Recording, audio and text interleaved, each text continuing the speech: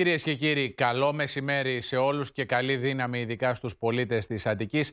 Είμαστε στη δεύτερη μέρα έξαρσης των φαινομένων της κακοκαιρίας Ελπίδα, η οποία μπορεί να έχει μεν εξασθενήσει ως προς την εκδήλωση της χιονόπτωσης και της χιονόστρωσης. Τα προβλήματα όμως τα οποία έχει αφήσει πίσω τόσο στο Λεκανοπέδιο όσο και σε άλλους νομούς είναι εξαιρετικά σημαντικά. Η αλήθεια είναι ότι τόσο χιόνι στην Αττική είχαμε να δούμε εδώ και δεκαετίες.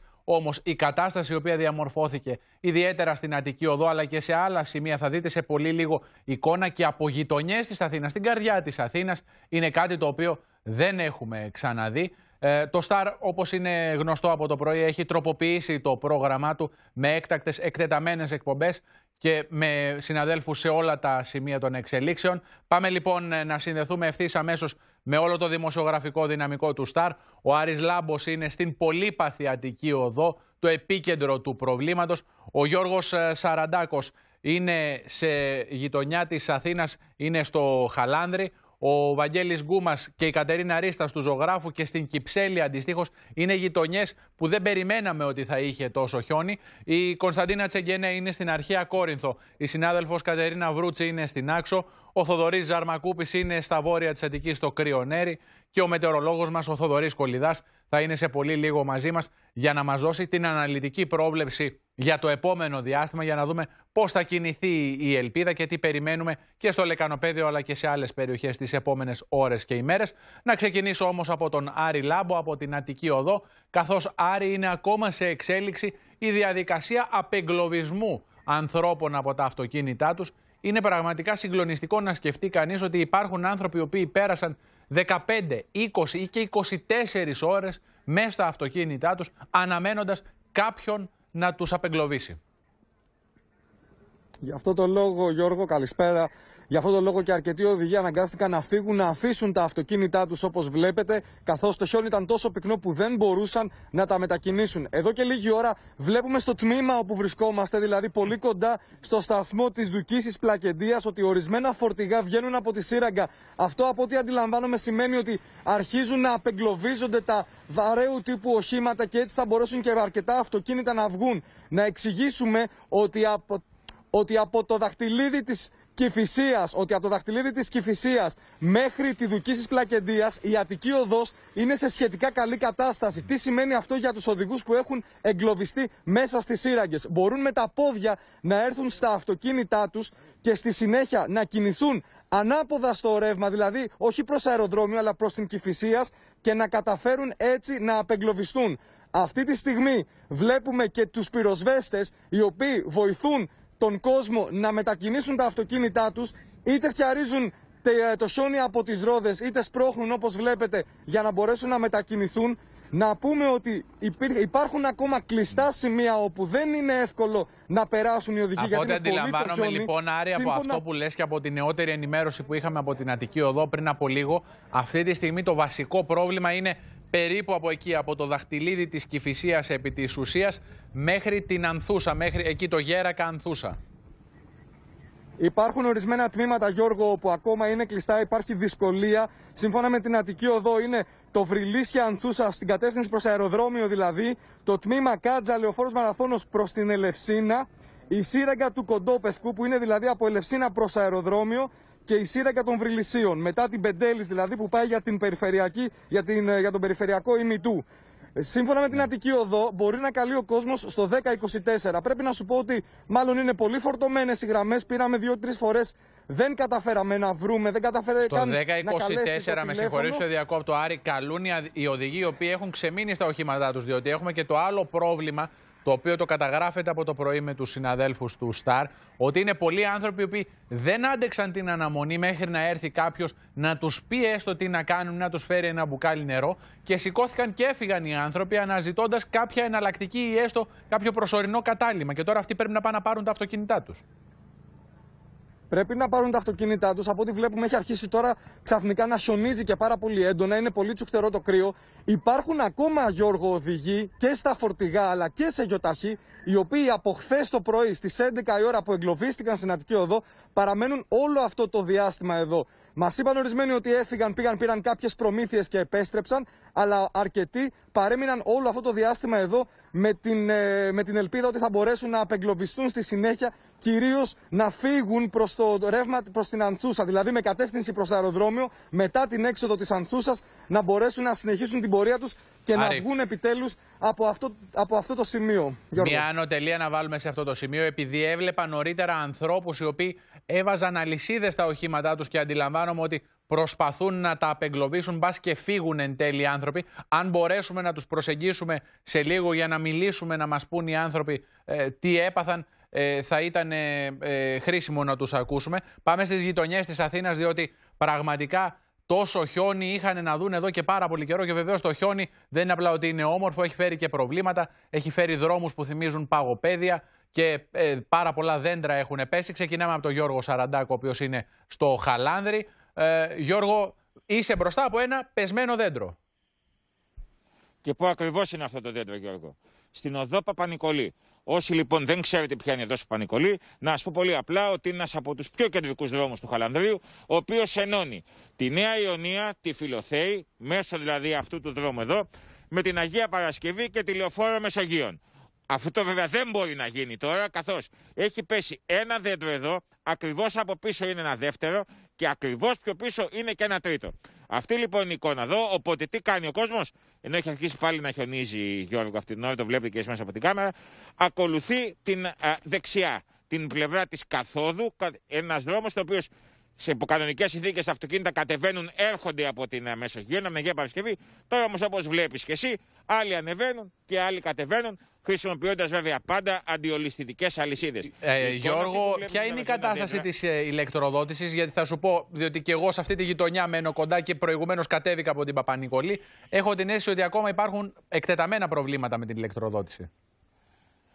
Αν θέλεις να μιλήσουμε με αριθμούς, να σου πω ότι σύμφωνα με την επίσημη ανακοίνωση του ΔΔΕ, 73 γραμμές, 73 γραμμές παρακαλώ, δεν κάνω λάθος, με συστάσεις τέθηκαν εκτός λειτουργίας από την κακοκαιρία, από τα πεσμένα δέντρα, από όλη αυτή την ε, ταλαιπωρία που φυστάμεθα όλοι. Από αυτές έχει επισκευαστεί ένας μεγάλος αριθμός. Και επισκευάζουν και άλλοι. Δηλαδή σήμερα μόνο ήταν 6, έχουν επισκευαστεί άλλες 40 και τις επόμενες ώρες αναμένεται, εφόσον φυσικά το επιτρέψουν οι καιρικές συνθήκες, εφόσον διευκολυνθεί η πρόσβαση, γιατί είναι πολύ δύσκολο σε κάποιες περιοχές να φτάσει το συνεργείο του ΔΔΕ της ΔΕΗ για να αποκαταστήσει την πλάβη να, να επιδιορθωθούν. Υπάρχουν περιοχές, Γιώργο, όπως μας ενημερώνουν και τηλεθεατές του Στάρ, οι οποίοι επικοινωνούν μαζί μας, οι οποίοι είναι 20 και πλέον ώρες χωρίς ρεύμα, είναι στο Παπάγου, στο Χαλάνδρη, στην Αγία Παρασκευή, ε, στην Νέα Μάκρη.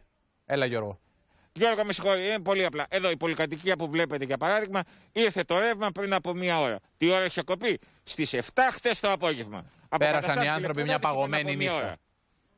Λοιπόν, Εδώ, στην οδό Παπα-Νικόλη, σε κεντρικό δρόμο. Σε έναν πάρα πολύ κεντρικό δρόμο στην καρδιά του Χαλανδρίου. Λοιπόν, ε, Γιώργο, ε, ε, συνεχίζεις το ρεπορτάζ. Εμείς πάμε στην Κυψέλη και την Κατερίνα Ρίστα.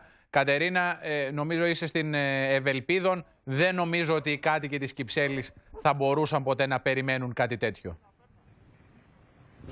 Στην Κυψέλη δεν είχαμε δει ποτέ τόσο χιόνι. Όπως πολύ σωστά λοιπόν είπες Γιώργο, βρισκόμαι στην Λεωφόρο Τσαλδάρη, λίγο πιο πάνω από την Ευελπίδων. Εδώ λοιπόν βλέπετε αυτοκίνητα παρκαρισμένα αριστερά αλλά και δεξιά του δρόμου, αλλά και στη μέση του δρόμου. Ο κόσμος σιγά σιγά έχει αρχίσει να βγαίνει από τα σπίτια του. Άλλοι για να πάνε να παίξουν με το χιόνι, όπως βλέπουμε στο πεδίο του Άρεος. Άλλοι για να πάνε να κάνουν τα πρώτα τους ψώνια. Με τη βοήθεια λοιπόν εδώ του Κώστα του Κούρτη, του οπερατέρμου, θα μπούμε λίγο στα στενά της Κυψέλης, γιατί η κυκλοφορία στη λεωφόρο της Αλεδάρη μπορεί να έχει δοθεί, μπορεί να κινούνται τα οχήματα με πολύ προσοχή και αλυσίδες φυσικά. Τα στενά όμως, όπως ε, βλέπετε, έχουν μετατραπεί σε παγοδρόμια. Αυτή λοιπόν που βλέπετε μπροστά σας είναι η Αγίου Στεφάνου. Οι κάτοικοι λοιπόν κατεβαίνουν να κάνουν τα ψώνια σιγά σιγά. Εδώ βλέπουμε γλιστράνε τα παιδάκια. Πραγματικά γλιστράνε πάρα πολύ οι δρόμοι. Να σας πω ότι η κατάσταση στα στενά της Κυψέλης είναι αρκετά δύσκολη, καθώς οι δρόμοι είναι πάρα πολύ στενοί τα εκχιονιστικά μηχανήματα δεν μπορούν να, είναι να αυτοκίνητα περάσουν. παρκαρισμένα και στις δύο μεριές του δρόμου, συνεπώς δεν διευκολύνονται. Προβλήματα με την ηλεκτροδότηση, πτώσεις δέντρων και κλαδιών υπάρχουν, Κατερίνα. Λοιπόν, έχουμε και εδώ προβλήματα τέτοια. Να σου πω ότι υπάρχουν ε, αρκετά σπίτια στα οποία έχουν παγώσει, έχουν παγώσει σωλήνες του νερού και οι άνθρωποι λοιπόν δεν μπορούν να έχουν ούτε πόσιμο νερό. Πριν από λίγο, μάλιστα, συναντήσαμε και έναν κάτοικο της Κυψέλης με μπιτόνια στα χέρια που μας έλεγε ότι πήγε στη θεία του να γεμίσει νερό και στη συνέχεια να επιστρέψει στο, στο σπίτι του.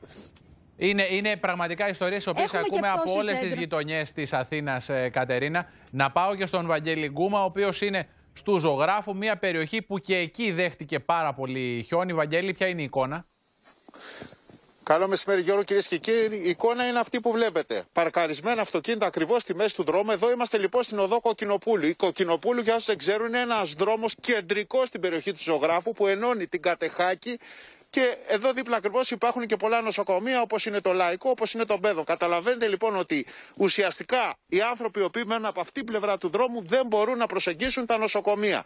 Διπλοπαρκαρισμένα, τριπλοπαρκαρισμένα αυτοκίνητα παντού πεζοδρόμια που έχουν κυριολεκτικά εξαφανιστεί από το χιόνι. Βλέπετε λοιπόν το βάθος του χιονιού εδώ τεράστια προβλήματα από πτώσεις δέντρων. Είδαμε ένα τεράστιο δέντρο που είχε το μέγεθος σχεδόν ενός αυτοκινήτου να έχει κλείσει όλη την Ούλεφ Πάλμε. Έπεσε πάνω σε ένα αυτοκίνητο, το ισοπαίδωσε κυριολεκτικά. Άλλα πεσμένα δέντρα σε διάφορα στενά εδώ στο, στο Είναι πραγματικά μια κατάσταση η οποία είναι καρμπών σε πάρα πολλές γειτονιές της Αθήνας, ε, Βαγγέλη. Να πάμε λίγο και στα βόρεια προάστια της Αθήνας. Κάνουμε ένα κύκλο με τις συνδέσεις όλων των συναδέλφων. Να πάμε στον Θοδωρή Ζαρμακούπη που είναι στο κρυονέρι, διότι εκεί οι κάτοικοι Θοδωρή είναι πιο μαθημένοι μεν στο χιόνι, αλλά το χιόνι που έπεσε ήταν πέραν πάσης προσδοκίας. Το χιόνι δεν αφήνει καμία, καμία ενέργεια για κανέναν όσο και μαθημένος να είναι. Βλέπετε εδώ την λεωφόρο κρυονερίου προσπαθούν με, να την κρατήσουν ανοιχτή οι άνθρωποι του Δήμου. Το πρόβλημα όμως είναι έντονο όπως μπορείτε να δείτε στα στενά. Δεν υπάρχει πρόσβαση στα αυτοκίνητα, δηλαδή όσο καθαρός και να είναι ο κεντρικός δρόμος, η λεωφόρος κρυονερίου, ε, το πρόβλημα υπάρχει στα εσωτερικά στενά, οπότε χιλιάδες κόσμοι δεν μπορούν ε, να μετακινηθούν. Είναι δώρον άδωρον. Ε, και περίπου να πούμε, Γιώργο, ότι έχουμε ανησυχήσει γιατί το, τα φαινόμενα της χιονόπτωσης είναι πάλι έντονα. Ε, δεν ξέρω τώρα βγήκε λίγος, λίγο ήλιος και μπορεί ε, να μας δώσει μια ανάσα που λέμε, αλλά εδώ και περίπου μισή ώρα τα φαινόμενα ήταν πάλι έντονα, υπήρχε έντονη χιονόπτωση και ελπίζουμε ότι δεν θα διατηρηθεί αυτό, γιατί αν διατηρηθεί είναι δεδομένο ότι θα πάρει μέρες για να καθαριστούν τα εσωτερικά στενά, περνούν τα εξιονιστικά, τα είδατε και πριν από λίγο, όμως δεν μπορούν να καθαρίσουν το χιόνι εντός του οικισμού. Είπαμε είναι ανοιχτή η λεωφόρος κρυονερίου για τα επίγοντα περιστατικά. Ο κόσμος όμως είναι εγκλωβισμένος, χιλιάδες κόσμοι κυκλοφορούν. Οι μικροί δρόμοι όμως στο Δωρή είναι το μεγάλο πρόβλημα και οι κάτοικοι δεν μπορούν να βγουν από τα σπίτια τους και να κυκλοφορήσουν.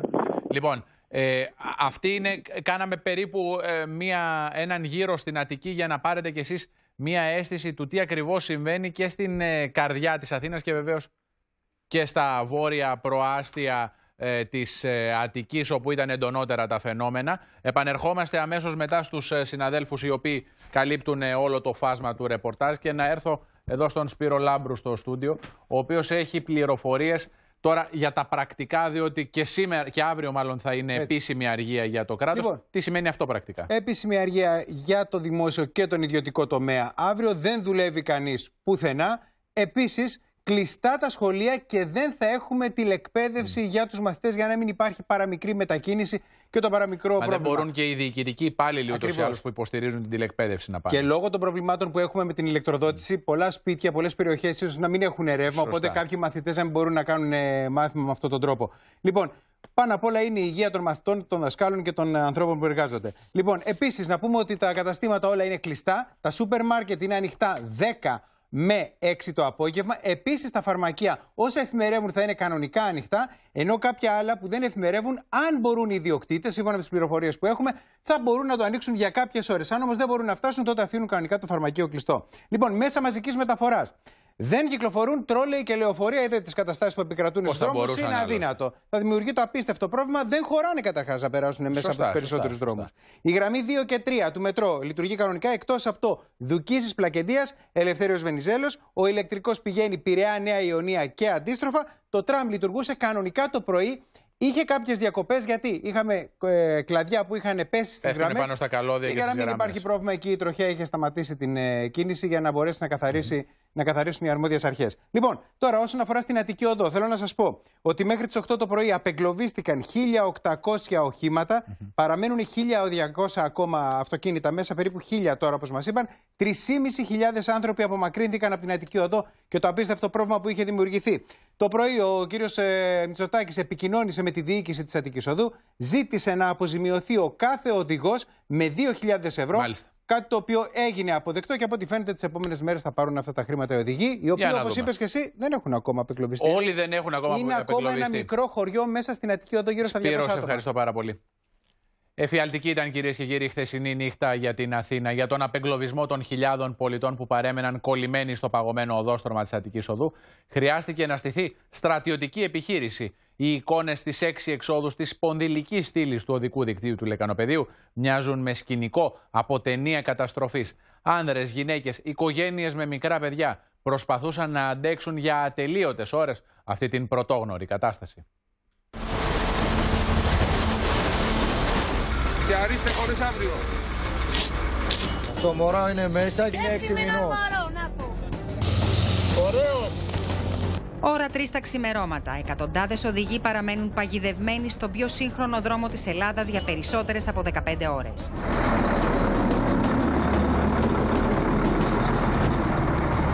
Δύσκολη κατάσταση, πολύ δύσκολη. Τώρα που ήρθατε εσείς, είναι το πρώτο όχημα βοήθειας αυτό.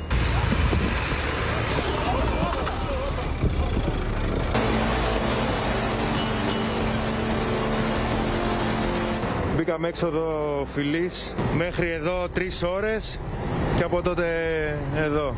Ένα φιλαράκι έχει ανοίξει το λεωφορείο του και την πέφτουμε μέσα. Άνδρες από το 575 τάγμα πεζοναυτών επιχειρούν προκειμένου να απεγκλωβίσουν τους οδηγούς που έχουν παγώσει. Εξαιτίας της χιονόπτωσης και του παγετού, οι δυνάμεις ενισχύονται σταδιακά κατά τη διάρκεια της νύχτας. Έφυγα από το κάτω στις 2 η ώρα, έφτασα στην Αττική Οδό, ρώτησα την κοπέλα στον Κισέ, είναι ανοιχτή η Αττική Οδός. Μου λέει να είναι ανοιχτή, περπα- προχωρήστε. Δεν έκανα ούτε 100 μέτρα και σταματήσαμε. Η ολονύκτια μάχη γινόταν υπό πολύ δύσκολες συνθήκες χιονόπτωσης και πολικού ψύχους. Επίλεκτε μονάδες του στρατού, συνολικά 232 άτομα από τις ένοπλες δυνάμεις, προσπαθούσαν τόσο να τους απεγκλωβίσουν όσο και να τους συνδράμουν με τρόφιμα και νερό.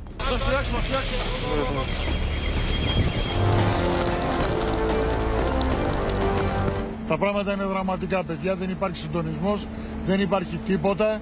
Τώρα μας γυρίσανε να φύγουμε προς τα πίσω και μας λένε ότι δεν έχουμε αλυσίδες, δεν μπορούμε. Κλείνει ένας δρόμος σαν την Αττική Οδό. Από τις 1.30 ώρα έχω μπει από το δακτυλίδι της Κηφισίας το μεσημέρι και είμαστε εδώ όπως βλέπετε. 1 και 19 το πρωί. Με σύζυγο που την έχω πάρει από αιμοκάθαρση. 12 και 5 μπήκα μέσα, έχω το ειστήριο εδώ. Μου λέει ο υπάλληλος καλή δύναμη. Εγώ δεν καταλαβαίνω τι μου λέει εκείνη την ώρα. Αλλά δεν μου λέει ότι κάντε και ένα στροφή να γυρίσετε να φύγετε γιατί μπροστά σας είναι τελειωμένο το δίκτυο. Βαριά μηχανήματα και ασθενοφόρα με αλυσίδες ρίχτηκαν στη μάχη. Οι εθελοντές βοήθησαν περίπου 100 οχήματα μέσα σε τρεις ώρες. Έλα δώσ' το. Ναι, ναι, ναι, Από Αγρίνιο πάω, πήγαινα αεροδρόμιο, έχω από τις 11 η ώρα το πρωί εδώ. Ώρες κλεισμένοι μέσα. Ώρα 10 και μισή το βράδυ, στο δαχτυλίδι της Κυφυσίας, κλιμάκιο του Ερυθρού Σταυρού μοιράζει κουβέρτες. Άνδρες, γυναίκες, οικογένειες με παιδιά προσπαθούν να αντέξουν τις αντίξωες συνθήκες. Την εμπειρία, τρίτο κοσμική. Από τη μία το μεσημέρι. Η ώρα είναι λίγο πριν από τα μεσάνυχτα. Πυροσβέστες μόλις κατάφεραν να προσεγγίσουν ακινητοποιημένα αυτοκίνητα και να μοιράσουν μπουκάλια με νερό στους ταλαιπωρημένους οδηγούς. Δεν υπήρχε νερό, δεν υπήρχε κάποιος να μας να ρωτήσει αν είμαστε καλά, δεν είμαστε. Ελάτε μπείτε στο, μέσα στο τμήμα, ελάτε μπείτε μέσα για να ζηταθείτε. Παγκώσαμε, όχι κρυώναμε. Οι αρρωγοί προσφέρονταν από τις εξόδους Πεντέλης, Κυφυσίας, Δουκίση Πλακεντίας, Μαραθώνα και Κάτζα.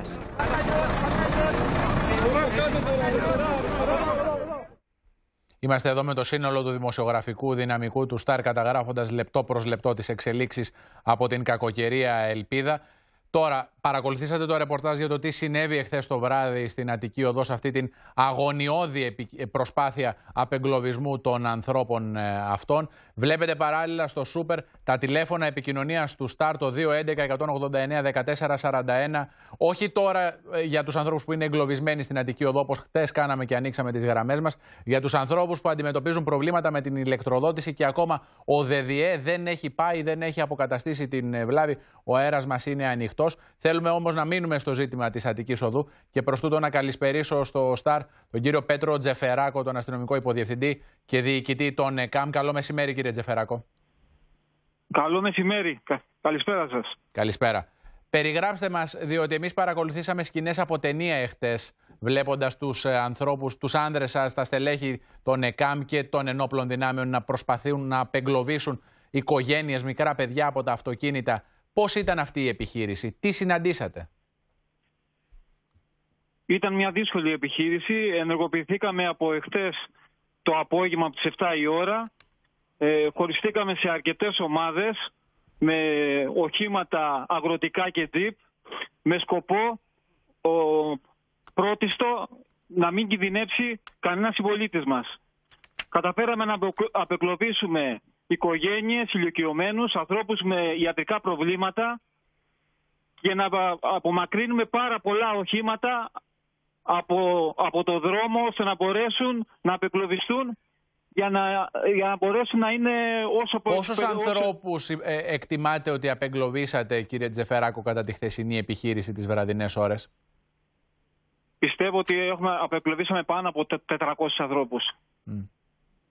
Οι οποίοι ήταν οικογένειες, ήταν μικρά παιδιά, ήταν ηλικιωμένοι. Δεν ξέρω αν υπήρχε και κάποιο κριτήριο στην ε, διαδικασία αυτή.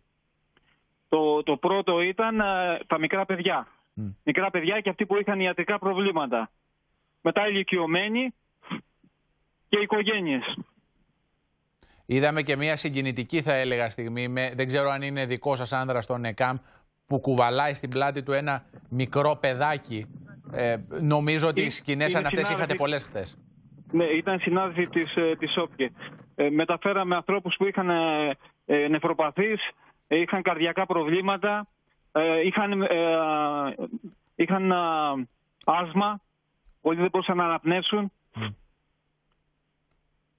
Ε, μια τελευταία ερώτηση θέλω κύριε Τζεφεράκο. Τι ώρα ξεκινήσατε και τι ώρα ολοκληρώσατε την επιχείρησή σας; Η επιχείρηση συνεχίζεται, δεν έχει ολοκληρωθεί. Ναι. Έχουμε ακόμα. Βέβαια, αυτή τη στιγμή όσοι βρίσκονται εδώ στην Αττική Οδό είναι με τη θέλησή τους στα οχήματα. Ναι, προφανώς 24 ώρες μετά οι ναι. άνθρωποι δεν θέλουν να αφήσουν τα αυτοκίνητά τους. Ναι.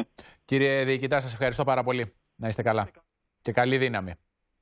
Λοιπόν, από τον ε, διοικητή των ΕΚΑΜ, τον κύριο Τζεφεράκο, θα πάμε στον συνάδελφό μας, τον Βάιο Σύρο, διότι τώρα εδώ τίθενται ερωτήματα επιχειρησιακά για αυτή την ιστορία της Αττικής ε, Οδού. Να βρούμε τον ε, Βάιο. Βάιο, καλό μεσημέρι.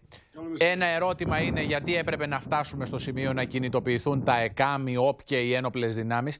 Και ένα δεύτερο ερώτημα είναι μήπως άργησαν να κινητοποιηθούν αυτές ε, οι μονάδες. Υπάρχει απάντηση από το αρχηγείο της αστυνομίας; Η ουσία είναι μία. Ότι έγινε μια δουλειά που δεν φαίνεται. Φαίνεται μόνο από μια φωτογραφία. Ένας αστυνομικός της ομάδας ο οποίος κουβαλάει, κάνει πεζοπορία, κουβαλάει στην πλάτη του ένα κορίτσι για να το βγάλει, είναι στην περιφερειακή του ημιτού για να το βγάλει σε ένα ασφαλές σημείο, να το παραλάβουν οι πυροσβέστες, να το μετακινήσουν λίγο πιο κάτω σε ένα ασφαλές σημείο. Είναι 400 άτομα που απεγκλωβίστηκαν. Μιλάμε για 400 ανθρώπινες ζωές. Μιλάμε για μικρά παιδιά, μιλάμε για ανθρώπους που είχαν όντως αναπνευστικά, καρδιακά προβλήματα. Μιλάμε για τέσσερις εγγύους οι οποίες μεταφέρθηκαν σε ασφαλές ε, σημείο. Ε, ήταν μια τεράστια δουλειά που. Κανείς δεν παραγνωρίζει το, το, ρόλο που έπαιξαν οι άνθρωποι αυτοί και τη σπουδαιότητα. Όμως, το ερώτημα, Γιώργο, είναι γιατί να χρειαστεί να επέμβουν ειδικές δυνάμεις αστυνομία, στρατού κτλ. Ναι.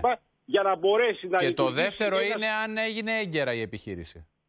Ε, θεωρώ ότι όχι, όχι καθυστέρησαν, αλλά δεν ήταν στον προγραμματισμό να μπουν ειδικές δυνάμεις για να καθαρίσουν ένα κλειστό αυτοκινητόδρομο, ο οποίος έδινε και την διαβεβαίωση στις συσκέψεις που γίνανε με την πολιτική προστασία ότι μπορεί να στηρίξει αυτόν τον δρόμο, να τον κρατήσει ανοιχτό και μάλιστα και χωρίς αλυσίδε. Γιατί ένας αυτοκινητόδρομος, ο οποίος διαθέτει τον μηχανισμό για να καθαρίζει τον δρόμο ερυπίου οφθαλμού, σημαίνει ότι μπορούν να κινηθούν και τα αυτοκίνητα χωρίς αλυσίδες. Κάτι που γίνεται, Γιώργο, και σε ευρωπαϊκές πόλεις που αντιμετωπίζουν χιονιά, αντιμετωπίζουν ανάλογες καιρικές συνθήκες και δεν χρειάζεται να φοράνε στα αυτοκίνητά τους αλυσίδες όταν κινούνται, επαναλαμβάνω, σε ένα κλειστό αυτοκινητόδρομο, ο οποίος διαθέτει την υποδομή για να μπορέσει να κρατήσει Μάλιστα. ανοιχτή την κυκλοφορία. Το πρόβλημα, ξέρεις ποιο ήταν, ήταν ότι όταν οι πυροσβέστες 12 η ώρα χθες το μεσημέρι ζητούσαν να κλείσουν τα διόδια από όλες τις ε, εισόδους στο ρεύμα προς αεροδρόμιο. Δεν έγινε αυτό. Μπαίναν τα αυτοκίνητα, ακούσαμε Μάλιστα. και τους οδηγούς νωρίτερα. Και το πρόβλημα ήταν ότι δεν υπήρχαν οι έξοδοι, ήταν ανοιχτοί οι έξοδοι διαφυγής. Αυτά και αυτά είναι πολύ κρίσιμα ερωτήματα τα οποία θα κληθεί να απαντήσει και η ίδια η Αττική Οδός και ενώπιον των εισαγγελικών αρχών, διότι δεν τελειώνει το ζήτημα με τα 2.000 ευρώ αποζημίωσης στους οδηγούς. Βάη, ευχαριστώ πολύ για το αναλυτικό ρεπορτάζ. Ε, Σας είπαμε και νωρίτερα, κυρίες και κύριοι, και βλέπετε πάντα τα τηλέφωνα του Σταρ. Ε, εφόσον έχετε πρόβλημα με την ηλεκτροδότηση, μπορούμε να το πούμε εδώ στον αέρα να κατευθύνουμε και εμείς στις αρχές τα συνεργεία του ΔΔΕ και την περιφέρεια Αττικής, διότι η περιφέρεια Αττικής πρέπει ε, να, ε, να, να κατευθύνει και τα συνεργεία του ΔΔΕ να ανοίξει δρόμους. Ένας άνθρωπος λοιπόν, ο οποίος αυτή την ώρα έχει συμπληρώσει σχεδόν 20 ώρες χωρίς ρεύμα, είναι ο κύριος Γιάννης Καλκάνης, είναι ε, κάτοικος στον Τράφη, ε, στη Διόνια, αν δεν κάνω λάθος. Είναι έτσι, κύριε Καλκάνη, καλό μεσημέρι. Καλησπέρα σας, κύριε Ευγενίδη, από τον τράφη του Κερμίου. Ναι. Πείτε μας, ποια είναι η κατάσταση που αντιμετωπίζετε. Εγώ, εγώ μιλάω εκ μέρους αρκετών κατοίκων γιατί δεν έχουν ρεύμα. Οπότε μιλήσαμε τηλεφωνικά για να, και πήρα εσάς για να βοηθήσουμε να πάει η να φτιάξει τι κολόνε τη ΔΕΗ. Ε, αυτή τη στιγμή δεν ξέρω τι είναι ο κύριος Κρέκας. Πάντως πρακτικά δεν υπάρχει ρεύμα στις εξής περιοχές. Άγιος Πυρίδωνας, Καλλιτεχνούπολη, Βιώνη και Ντράφη. Είναι πολύ μεγάλο το έγκρο. Είναι σε όλη την έκταση των περιοχών αυτών; Στο 90% των περιοχών δεν υπάρχει ρεύμα. Αυτή τη στιγμή ξαναχιονίζει έντονα να γνωρίζετε. Δεν έχουμε ούτε ίντερνετ, ούτε τηλέφωνο φυσικά και η Vodafone δεν πιάνει. Και δεν είναι μόνο ε. αυτό. Δεν έχετε θέρμανση, δεν έχετε ζεστό νερό. Τώρα τι να συζητάμε; Και κάποιες περιοχές στη Βιώνη δεν έχουν ούτε νερό, κύριε Ευγενίδη. Ούτε νερό. Άρα υπάρχει πρόβλημα και στο δίκτυο της ίδρυυση. Προφανώς. Να σας πω ότι πάλι που είχε παιδί με COVID το βράδυ και ψάχνουμε μεταξύ μας κάτι και μέσω Viber να βρούμε self-test που θα πάνε. Θα σας πω και κάτι πιο σημαντικό. Το κέντρο υγείας Ραφίνα, κύριε Ευγενίδη, το κέντρο υγείας, είναι από χθες κομμένο το ρεύμα. Βάλανε κάποια γεννήτρια και δούλεψε. Το καύσιμο τελείωσε στις 7 η ώρα και τους φέρανε καύσιμο για να λειτουργήσουν στη 1 η ώρα το μεσημέρι. Άρα το κέντρο υγείας Ραφίνας έμεινε από τις 7 η ώρα το πρωί Ακριβώς. μέχρι τη 1 η ώρα το μεσημέρι χωρίς καύσιμο η γεννήτρια. Έχω φίλη μου οικογενειακή νοσηλεύτρια η οποία μου λέει Γιάννη μου είμαστε με, τα, με το κινητό τα φώτα. Το, το φως του με κινητού. Με το φακό δηλαδή, του κινητού. Ναι, κύριε Γελίνη, ακόμα δεν είναι προσβάσιμο το κέντρο υγείας Τραφίνα και για μένα, δεν ξέρω, εσεί ξέρετε καλύτερα, ευθύνεται ο Δήμος, η Περιφέρεια και η πολιτική προστασία. Πρέπει να υπάρξει κάποια παρέτηση. Δηλαδή, εδώ η κατάσταση είναι τριτοκοσμική. Δεν το έχω ξανασυναντήσει. Η κατάσταση, περιγράψτε μας λίγο, κύριε Καλκάνη, διότι εσείς μένετε σε Δήμους οι οποίοι είναι στους πρόποδες της Πεντέλης, κάποιοι είναι και στην πλαγιά της Πεντέλης, στον Τράφη, Διόνι κλπ. Κύριε Ευγενίδη, πώς είναι οι δρόμοι; Ναι, δεν νοείται. Και αυτό για μένα είναι το Δήμος. Δεν ευθύνεται κανένας άλλος. Ναι. Δεν νοείται. Η λεωφόρος Αχαιών, η Κοραή, η Ροδόπης, η Μεγάλη Αλεξάνδρου, που είναι, η είναι λεωφόρος. Έτσι, να είναι κλειστή από το περίπτερο το κάτω και πάνω. Εγώ μένω στους πρόποδε του περιφέρου. Είναι κλειστή, δεν έχει περάσει χιονιστικό από χθες. Αυτό είναι ο Δήμος Πεντέλης ή ο Δήμος Ραφίνας Πικερμίου. Ο Δήμος Ραφίνας Πικερμίου έχει ένα χιονιστικό, mm-hmm. από ό,τι μαθαίνω, και δεν βλέπω να έρχονται να ανοίξουν. Και βλέπω δημοσιεύσεις στα social media του αντιδημάρχου, ενός από τους αντιδημάρχους, ότι ναι. είναι ευχαριστημένος για το Δήμο Ραφίνα. Απλά να του θυμίσω ότι υπάρχει και ο Δήμος, είναι και ο Πικέρμι σε αυτό Άρα, το πρακτικά τώρα, κύριε Καλκάνη, πέραν του ζητήματος του αποχιονισμού, που είναι πάρα πολύ σημαντικό για να μπορείτε κι εσείς να πάτε, τι να σας πω, στο σούπερ μάρκετ να πάρετε να. τρόφιμα αν σας χρειάζονται. Είστε πάνω από 20 ώρες αυτή τη στιγμή στα, στο ναι. σκοτάδι και στο κρύο. Μπράβο. Το θερμόμετρο στο σπίτι μου τα ξημερώματα έδειχνε πλην 4. Έχουμε τζάκι. Οκ. Okay. Αλλά δεν είναι το τζάκι σε ένα σπίτι το θέμα. Έχουμε μικρά ναι. παιδιά, υπάρχουν άνθρωποι με θέματα υγείας. Δηλαδή, Αυτό ήθελα να σας ρωτήσω. Έχετε, επειδή καταλαβαίνω ότι έχετε επικοινωνήσει και με κάποιους άλλους κατοίκους, υπάρχουν άνθρωποι με θέματα υγείας οι οποίοι ε, χρήζουν αυτή τη στιγμή φροντίδας; με, με τους κατοίκους που μιλάω αυτή τη στιγμή δεν υπάρχει κάτι. Ό,τι να αντιμετωπίστηκε γιατί υπάρχουν δύο εθελοντές γιατροί, να είναι καλά οι άνθρωποι, κάτοικοι, οι οποίοι είπαν όσο μπορούμε, αν μπορούμε με τα πόδια να βοηθήσουμε κάπως. Προς το παρόν δεν υπάρχει. Αλλά το θέμα είναι πόσες ώρες θα μείνει, γιατί ξαναχιονίζει τώρα έντονα. Τώρα ξαναχιονίζει και πάλι. Κύριε Καλκάνη, ελπίζω να ακουστήκατε και ελπίζω ο ΔΕΔΙΕ, ε, η Περιφέρεια και ο Δήμος να πράξουν τα δέοντα. Σας ευχαριστώ πάρα πολύ. Είμαστε πάντα στην διάθεσή σας για ό,τι θέλετε για την επικοινωνία σας. Πάμε λοιπόν εκτός Αθηνών αυτή τη ε, στιγμή για να δούμε ποια είναι η εξέλιξη. Να ξεκινήσουμε με τον Λάμπρο Δεμερτζή, ο οποίος είναι στην Εύβοια. Λάμπρο. Καλό μεσημέρι Γιώργο, είμαστε στην παραλία στα Πολιτικά. Μια ωραία εικόνα από τη μία, η χιονόπτωση συνεχίζεται πρέπει να σου πω. Δεν έχει σταματήσει, είναι για δεύτερο 24ωρο. Είναι μια μοναδική εικόνα όμως αυτό αντικατοπτρίζεται και αλλάζει το σκηνικό, θα λέγαμε, αυτής της πανέμορφης εικόνας που σας μεταφέρει ο Κώστας Χριστοβασίλη με τα προβλήματα που υπάρχουν εδώ. Και ποια είναι αυτά; Τα προβλήματα είναι ότι πολλές περιοχές δεν έχουν ρεύμα. Ορεινά χωριά, οικισμοί, αλλά και παραθαλάσσια χωριά όπως και εδώ παραμένουν σχεδόν για 24 ώρες χωρίς ηλεκτρικό. Αυτό είναι ένα πάρα πολύ σημαντικό πρόβλημα για όλους τους ανθρώπους. Μιλάμε για ηλικιωμένους, κυρίως στα χωριά που βρίσκονται οι άνθρωποι αυτοί στα ορεινά που το χιόνι ξεπερνά και το ένα μέτρο. Εδώ είναι στους 20-25 πόντους, αλλά είμαστε στην παραλία. Το πρόβλημα είναι τα ορεινά χωριά που. Υπάρχουν εντάξει, χωριά λάμπρο τα οποία περισσότεροι... είναι αποκλεισμένα, τα οποία δεν έχουν καμία επικοινωνία με την υπόλοιπη ε, Εύβοια. Αυτό που μας λένε από την περιφέρεια ότι είναι δύσκολη Μάλιστα. πρόσβαση. Δεν μας λένε ότι είναι αποκλεισμένα, είναι δύσκολη πρόσβαση. Το βασικό είναι ότι δεν έχουν ρεύμα. Έχουν συνηθίσει οι άνθρωποι εδώ, είναι συνηθισμένοι, θα το παλέψουν. Η περιφέρεια κάνει ό,τι μπορεί για να κρατήσει το βασικό δίκτυο. Είναι πραγματικά μια πολύ δύσκολη εικόνα και μια πολύ δύσκολη μάχη. Από την Εύβοια πάμε στην ε, Κόρινθο, στην αρχαία Κόρινθο, στην Κωνσταντίνα Τσεγγενέ. Κωνσταντίνα, είσαι έξω από τον αρχαιολογικό χώρο; Καλησπέρα Γιώργο και από την αρχαία Κόρινθο. Όπω μπορείς να δεις και εσύ, το τοπίο και αρχαιολογικός χώρος έχει και αρκετό χιόνι. Πρέπει να σου πω ότι πέρασαν δύσκολη νύχτα οι κάτοικοι της περιοχής, καθώς από τις 12 δεν είχαν ρεύμα. Το ρεύμα ήρθε στις 9 η ώρα το πρωί. Με το πρώτο φως της ημέρας, οι κάτοικοι προσπάθησαν να καθαρίσουν τις αυλές των σπιτιών τους, να καθαρίσουν τα καταστήματά τους και φυσικά να απομακρύνουν το χιόνι ε, μακριά από τους δρόμους προκειμένου να μπορούν να κυκλοφορήσουν. Όπως μας είπαν, η νύχτα ήταν ιδιαίτερα δύσκολη εξαιτίας της έλλειψης ρεύματος. Δεν μπορούσαν να έχουν θέρμανση και έτσι, όπως μπορείς και εσύ να καταλάβεις, πέρασαν πάρα, πάρα πολύ δύσκολα δύσκολα. Τώρα όμως η κατάσταση είναι σαφώς καλύτερη. Αυτό είναι ένα θετικό, αλλά οι άνθρωποι βεβαίως ταλαιπωρήθηκαν τις βραδινές ώρες, 9 ώρες χωρίς ρεύμα. Δεν είναι και λίγο από την Κόρινθο. Πάμε στην Άξο, την ε, συνάδελφο την Κατερίνα Αυρούτσι, διότι εκεί νομίζω, Κατερίνα, είναι ένα σκηνικό το οποίο ε, εσύ δεν ξέρω αν το έχεις προλάβει, αν το θυμάσαι σαν εικόνα.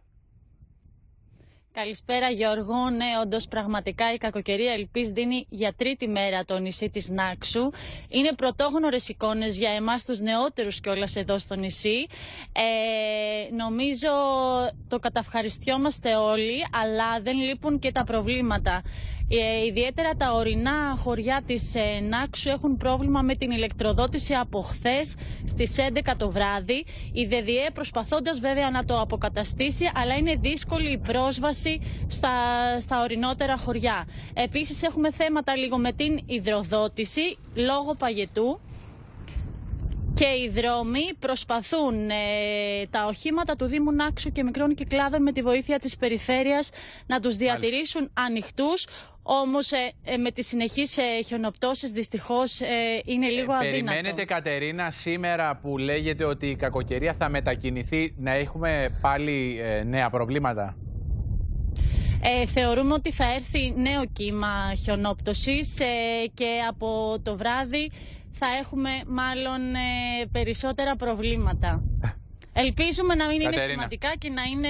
Ελπίζω, ελπίζω να σας μείνει μόνο το αλπικό τοπίο, να έχετε κάτι να θυμάστε και τα προβλήματα σύντομα να εξομαλυνθούν. Λοιπόν, ε, ε, κάναμε έναν ε, γύρο στην περιφέρεια. Πάμε στον Άρη Λάμπο και πάλι, στην εικόνα των ημερών πλέον, την Αττική Οδό. Ο Άρης από την προηγούμενη μας σύνδεση νομίζω ότι έχετε μετακινηθεί κάποια μέτρα, έχετε μιλήσει και με οδηγούς που προσπαθούν να απεγκλωβίσουν τα οχήματά τους τώρα που κάπως άνοιξε ο δρόμος Άρη. Ακριβώς, Γιώργο, μετακινούμαστε. Είμαστε πάνω στην Αττική Οδό. Πλησιάζουμε την έξοδο 15 προς τη λεωφόρο Μαραθώνος. Βλέπετε τα εξιονιστικά, βλέπετε κιόλας τα αυτοκίνητα προς τα δεξιά. Εκεί είναι η έξοδος προς λεωφόρο Μαραθώνος. Τα αυτοκίνητα τα οποία εξακολουθούν να είναι θαμμένα στο χιόνι. Και εδώ παρατηρούμε το εξής: Ότι ενώ στην πραγματικότητα η κεντρική αρτηρία, η Αττική Οδός, έχει ανοίξει σε ένα πολύ μεγάλο τμήμα της, το γεγονός ότι πάρα πολλά αυτοκίνητα εξακολουθούν να είναι θαμμένα στο χιόνι δεν μπορούν στην πραγματικότητα οι οδηγοί να απεγκλωβιστούν. Έχουν φύγει με τα πόδια, έχουν παραμείνει εδώ τα αυτοκίνητα. Ωστόσο, οι άνθρωποι προφανώς αριαπήδησαν πρέπει... κάποια στιγμή περιμένοντας κάποιον να τους βοηθήσει και σηκώθηκαν και έφυγαν. Αναζητώντας κάποιο κατάλημα, κάπου να, να ζεσταθούν. Ε, άκουγα και έλαβα χτες πολλά μηνύματα από ανθρώπους οι οποίοι πήγανε σε βενζινάδικα εκεί στην περιοχή της Κάτζας, στα παλιά κτίρια, στο Holiday Inn που έχουμε ακούσει, οι οποίοι ήταν ο ένας πάνω στον άλλον, εν μέσω COVID, να βάλουμε και αυτή την παράμετρο, και οι οποίοι απλά περίμεναν κάποιον να τους βοηθήσει. Ακριβώς οι άνθρωποι αυτοί έφυγαν, προσπάθησαν να βρουν βοήθεια Στη συνέχεια αρκετοί γύρισαν, αλλά Γιώργο για να μπορέσει κάποιος από όλους αυτούς τους ανθρώπους να πάρει τα αυτοκίνητά του θα πρέπει να έχει βοήθεια. Δηλαδή τώρα το κόκκινο βανάκι που θα δείτε στα αριστερά μας το κόκκινο βανάκι μπόρεσαν να το απεγκλωβίσουν πριν από λίγο με ημάντα. Δηλαδή, ένα φορτηγό το τράβηξε με ημάντα και μπόρεσε να φύγει ο άνθρωπος προκειμένου να συνεχίσει. Σε άλλες περιπτώσεις, βλέπουμε άνδρες της πυροσβεστικής, του στρατού, με φτιάρια να πηγαίνουν και να, να απελευθερώνουν τους τροχούς, ενώ διαρκώς τα εκχιονιστικά προσπαθούν, ρίχνουν αλάτι όπως βλέπετε και ανοίγουν το δρόμο όπου υπάρχει πρόβλημα, Γιώργο. Άρη, εσύ συνεχίζεις το ρεπορτάζ για μια πραγματικά αποκαλυπτική εικόνα. Εμείς συνεχίζουμε να επικοινωνούμε με ανθρώπους οι οποίοι αντιμετωπίζουν πρόβλημα στην ηλεκτροδότηση. Είναι μαζί μας, είναι στην τηλεφωνική μας γραμμή ο κύριος Αντώνης από το Μαρούσι. Ε, γεια σας κύριε Αντώνη, καλό μεσημέρι. Καλησπέρα σας, καλό μεσημέρι. Ε, ε, πείτε, μας, πείτε μας τι, τι συμβαίνει σε, και σε ποιο σημείο του Αμαρουσίου είστε; Είμαστε ε, από την πλευρά της ε, οδού Πεντέλης, στην Ευκαλύπτων. Είναι αρκετά κεντρικός δρόμος. Από εδώ περνάνε κανονικά λεωφορεία. Κατεβαίνουν όλοι οι περαστικοί από Κηφισιά, όλοι πίσω από το κτήμα Συγκρού τέλος πάντων. Είμαστε πολύ κεντρικά. Τρία λεπτά από την Κηφισία είμαστε. Και είμαστε χωρίς ρεύμα από χτες ε, στις 8 το βράδυ, 8 και 10. 18-19 ώρες χωρίς ρεύμα, χωρίς θέρμανση, με μωρό 15 μηνών που του φτιάχνουμε γάλα και μακαρονάκι στο γκαζάκι. Θα τελειώσει και το γκαζάκι. Και δεν υπάρχει άνθρωπος να μας βοηθήσει. Έχω γράψει στο Twitter, έχω κάνει αναρτήσεις στα μέσα κοινωνικής δικτύωσης. Μίλησα με το ΔΔΕ. Δεν έχουν καμία πρόβλεψη. Τι σας είπαν από το ΔΔΕ από περιέργεια; Καταρχάς έκανα άπειρες προσπάθειες μέχρι να πιάσω γραμμή. Περίμενα 40 λεπτά στην αναμονή και μου είπαν ότι για την περιοχή σας, κύριε μου, δεν υπάρχει καμία πρόβλεψη για το πότε. Πότε σας το είπανε αυτό, κύριε Αντώνη; Ε, τι ώρα μου το είπανε πριν δύο ώρες, νομίζω. Σας το είπανε σήμερα, άρα στις 17 ώρες σας είπαν ότι δεν έχουν πρόβλεψη για το πότε θα αποκατασταθούν καμία, οι ζημιές στο ρεύμα. Καμία, καμία. Και παιδιά, δεν μιλάμε τώρα για μαρούσι σε κανένα στενό μέσα ναι. και στη Νέα Λέσβο. Μιλάμε από. Είμαι τρία λεπτά από την Κυφυσία. Ο δρόμος είναι καθαρός στην περιοχή σας, είναι. Όχι, βέβαια. Και επίσης το, το τραγελαφικό είναι ότι επικοινωνήσαμε με το Δήμο Μαρουσίου ναι. πάνω στην απόγνωση και τους λέμε, παιδιά, να περάσει ένα γκρέιντερ να, να ξεχιονίσει τους δρόμους τουλάχιστον. Και μας είπαν, είναι αργία, λέει η κυρία, κυρία μου σήμερα, δεν το έχετε καταλάβει. Και λέω, αν είναι δυνατόν, πού ζούμε; Συγγνώμη, συγγνώμη. αυτό θα ήθελα παρακαλώ να το ξανακούσω. Επικοινωνήσατε με τον Δήμο. Ζητήσατε ανθρώπινα να έρθει ένα grader. Εντάξει, δεν μπορούμε να έχουμε όλοι ένα grader στην πόρτα μας. Το λέω απλά ότι ζητήσατε κι εσείς να γίνει ο, ο δέον αποχιονισμός όπως πρέπει να κάνει ο Δήμος. Και σας είπε ο Δήμος, δεν μπορώ, είναι αργία. Ακριβώς. Τώρα εντάξει, δεν μου το είπε. Δεν με κάποιον μίλησε εκεί πέρα κάποιος ε, εργαζόμενος. Ήταν και αυτός ο άνθρωπος εκεί. Λογικό να είναι ε, δύσκολο να πάει και αυτός στη δουλειά ναι. του, αλλά μου είπε ναι, είναι αργία. Πέρσι με τα χιόνια είχε περάσει grader από εδώ και άνοιξε και την ε, Ευκαλύπτων, που είναι κύριος δρόμος η Ευκαλύπτων, ναι, ναι. συνδέεται με την ε, Πεντέλης και την Κοντζιά και όλα. Από εδώ περνάνε λεωφορεία κανονικά.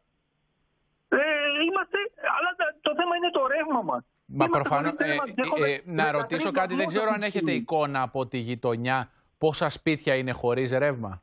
Είναι ναι, μεγάλο το πρόβλημα. Πριν, βγήκα πριν να μιλήσω με τους ε, γείτονες. Εδώ στη γωνία τους ήρθε το ρεύμα στις 2 η ώρα το βράδυ. Αλλά γενικά επειδή έφτασα 5-6 τετράγωνα πιο κάτω στην ε, Κοντζιά, μου είπαν ότι δεν έχει ρεύμα κανείς από χθες το βράδυ. Άρα υπάρχει ένα πολύ σημαντικό πρόβλημα ηλεκτροδότησης και στο Μαρούσι και το λέω για να το προσθέσουμε και εμείς στον χάρτη των περιοχών που καταγράφουμε προβλήματα ηλεκτροδότησης, διότι υπάρχει έντονο πρόβλημα και σε άλλα βόρεια προάστια, στο Χαλάνδρε, στην Αγία Παρασκευή, στο Παπάγο μεταξύ άλλων, στα Βρυλίσια εξ όσων ξέρω εγώ. Άρα πλέον μπαίνει στην εξίσωση και το Μαρούσι και βεβαίως και άλλες περιοχές, Νέα Μάκρη. Ακούσαμε προηγουμένως έναν άλλον ε, κύριο από τον Τράφι, από το Πικέρμι εκεί πέρα. Ε, Εντάξει, Λοιπόν. δεν έχω πρόβλημα με κάποιον από το Πικέρμι, αλλά Προς Θεού, προς είμαστε Θεού. στο Μαρούσι, είμαστε 100.000 κάτοικοι, όλες οι πολυεθνικές είναι εδώ, είμαι τρία στην Κυφυσία. Δεν είμαι σε χωριό. Καταλάβατε τι σας λέω. Καταγράφουμε Δηλαδή, στο απόλυτα. κρύο. Δε- δεν, δεν μπορώ να σας απαντήσω κι εγώ κάτι το οποίο να βγάζει νόημα αυτή τη στιγμή, διότι δεν βγάζει νόημα. Είναι τέτοια η έκταση του προβλήματος. Κύριε Αντώνη, ελπίζω πολύ σύντομα ε, να αποκατασταθεί το πρόβλημα, κυρίως για το μωράκι που έχετε και να μην ταλαιπωρηθεί και αυτό άλλο. Σας ευχαριστώ πάρα πολύ. Ελπίζω να βοηθήσουμε λίγο με τη, δια- με τη δημοσιοποίηση του προβλήματος. Αυτό λοιπόν κυρίες και κύριοι είναι το μεγάλο πρόβλημα της ημέρας. Αυτό είναι που συμβαίνει στις μεγάλες γειτονιές της ε, πόλης. Πάμε στην Κατερίνα Ρίστα στην ε, Κυψέλη, η οποία ε, από την τελευταία μας σύνδεση μιλά με ανθρώπους. Τι καταγράφεις Κατερίνα; Να σου πω λοιπόν, ε, Γιώργο, ότι από την Κυψέλη βρεθήκαμε στα όρια με την ε, περιοχή του Πολυγόνου αλλά και στο, στο Γκίζι. Εδώ λοιπόν η κατάσταση είναι ακριβώς η ίδια. Βρισκόμαστε συγκεκριμένα στην οδό Βάφιο Χωρίου. Οι δρόμοι και εδώ έχουν μετατραπεί σε παγίδες, σε παγοδρόμια. Λίγοι θαραλέοι βγαίνουν έξω στο δρόμο σιγά σιγά να καθαρίσουν τα αυτοκίνητά τους. Άλλοι με σκούπες στα χέρια, άλλοι με φτιάρια να καθαρίσουν μπροστά τις εισόδους από τα σπίτια τους.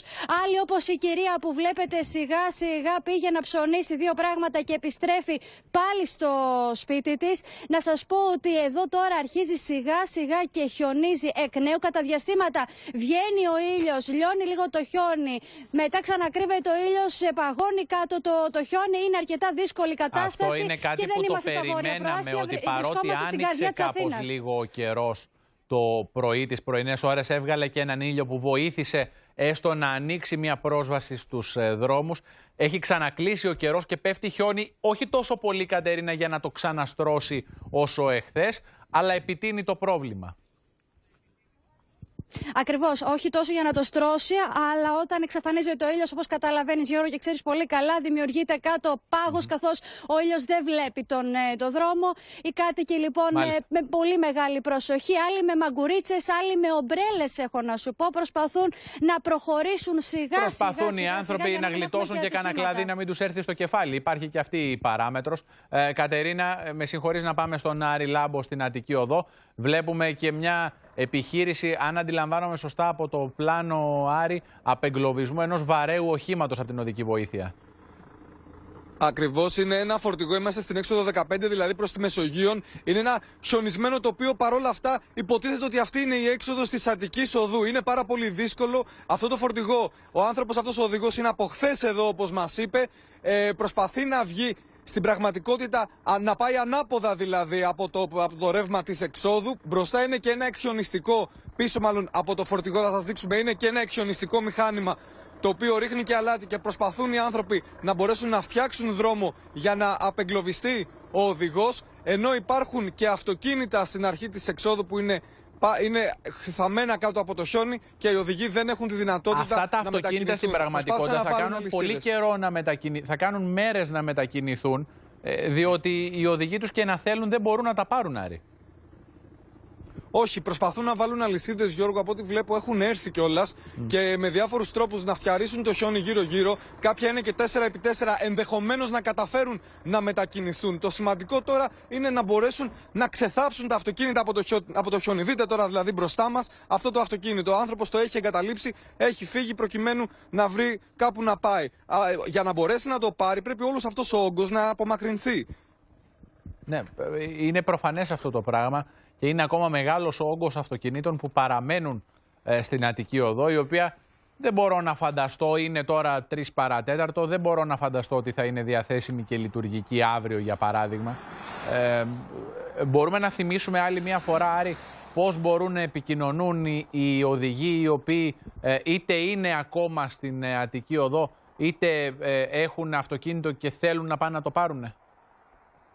Με τον τετραψήφιο αριθμό 1024 προκειμένου να καταφέρουν να δουν ποια σημεία είναι εύκολα προσβάσιμα. Πρέπει να σου πω αυτό που είπαμε και νωρίτερα ότι η κεντρική αρτηρία έχει σε πολλά σημεία είναι καθαρή. Βλέπετε δηλαδή μπροστά μας ότι μπορεί ένα αυτοκίνητο να μετακινηθεί γιατί έχει λιώσει και το χιόνι. Το πρόβλημα είναι ότι σε πολλά σημεία υπάρχουν, θα το έλεγα εντός εισαγωγικών νησίδες. Τι σημαίνει αυτό, μέσα στη μέση Μάλιστα. του δρόμου έχει αφαιθεί ένα αυτοκίνητο που δεν μπόρεσε να το πάρει ο οδηγός. Με αποτέλεσμα να υπάρχουν εμπόδια στην κίνηση από τα αυτοκίνητα αυτά που έμειναν στην μεσαία λωρίδα. Άρη, εσύ συνεχίζεις το ρεπορτάζ, διότι πραγματικά αυτό το ρεπορτάζ είναι ατελείωτο και σήμερα.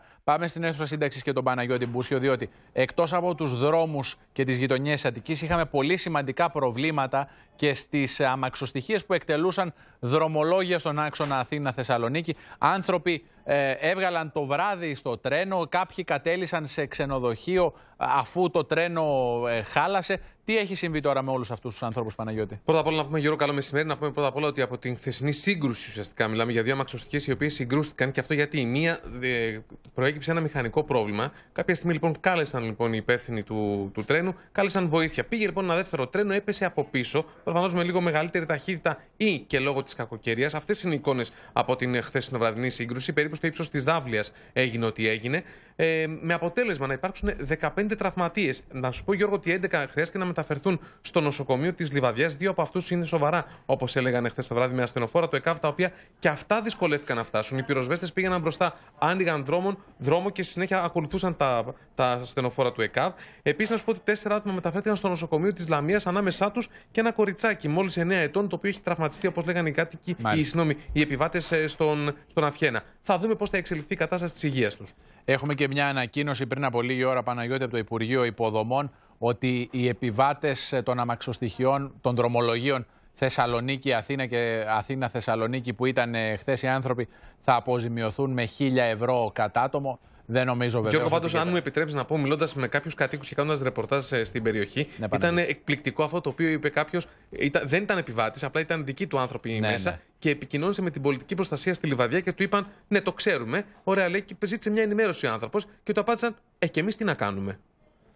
Πραγματικά, Παναγιώτη, ε, δεν ξέρω, έχω την αίσθηση ότι κάποιοι κατελήφθησαν εξαπίνης ε, από, από την ένταση του φαινομένου. Δε- Δεν, η, η, η αντίδραση ώρες-ώρες είναι σαν να σήκωσαν πολύ τα χέρια ψηλά. Να σε ευχαριστήσω πάρα πολύ. Για να πάμε λοιπόν στον μετεωρολόγο μας, τον Θοδωρή Κολυδά, για να δούμε τι περιμένουμε τις επόμενες ώρες και ημέρες. Θοδωρή, βλέπουμε σε κάποιες περιοχές της Αττικής μια ελαφρά χιονόπτωση, όχι τόσο ικανή να δημιουργήσει πρόβλημα. Πες μας πού και τι περιμένουμε από εδώ και πέρα.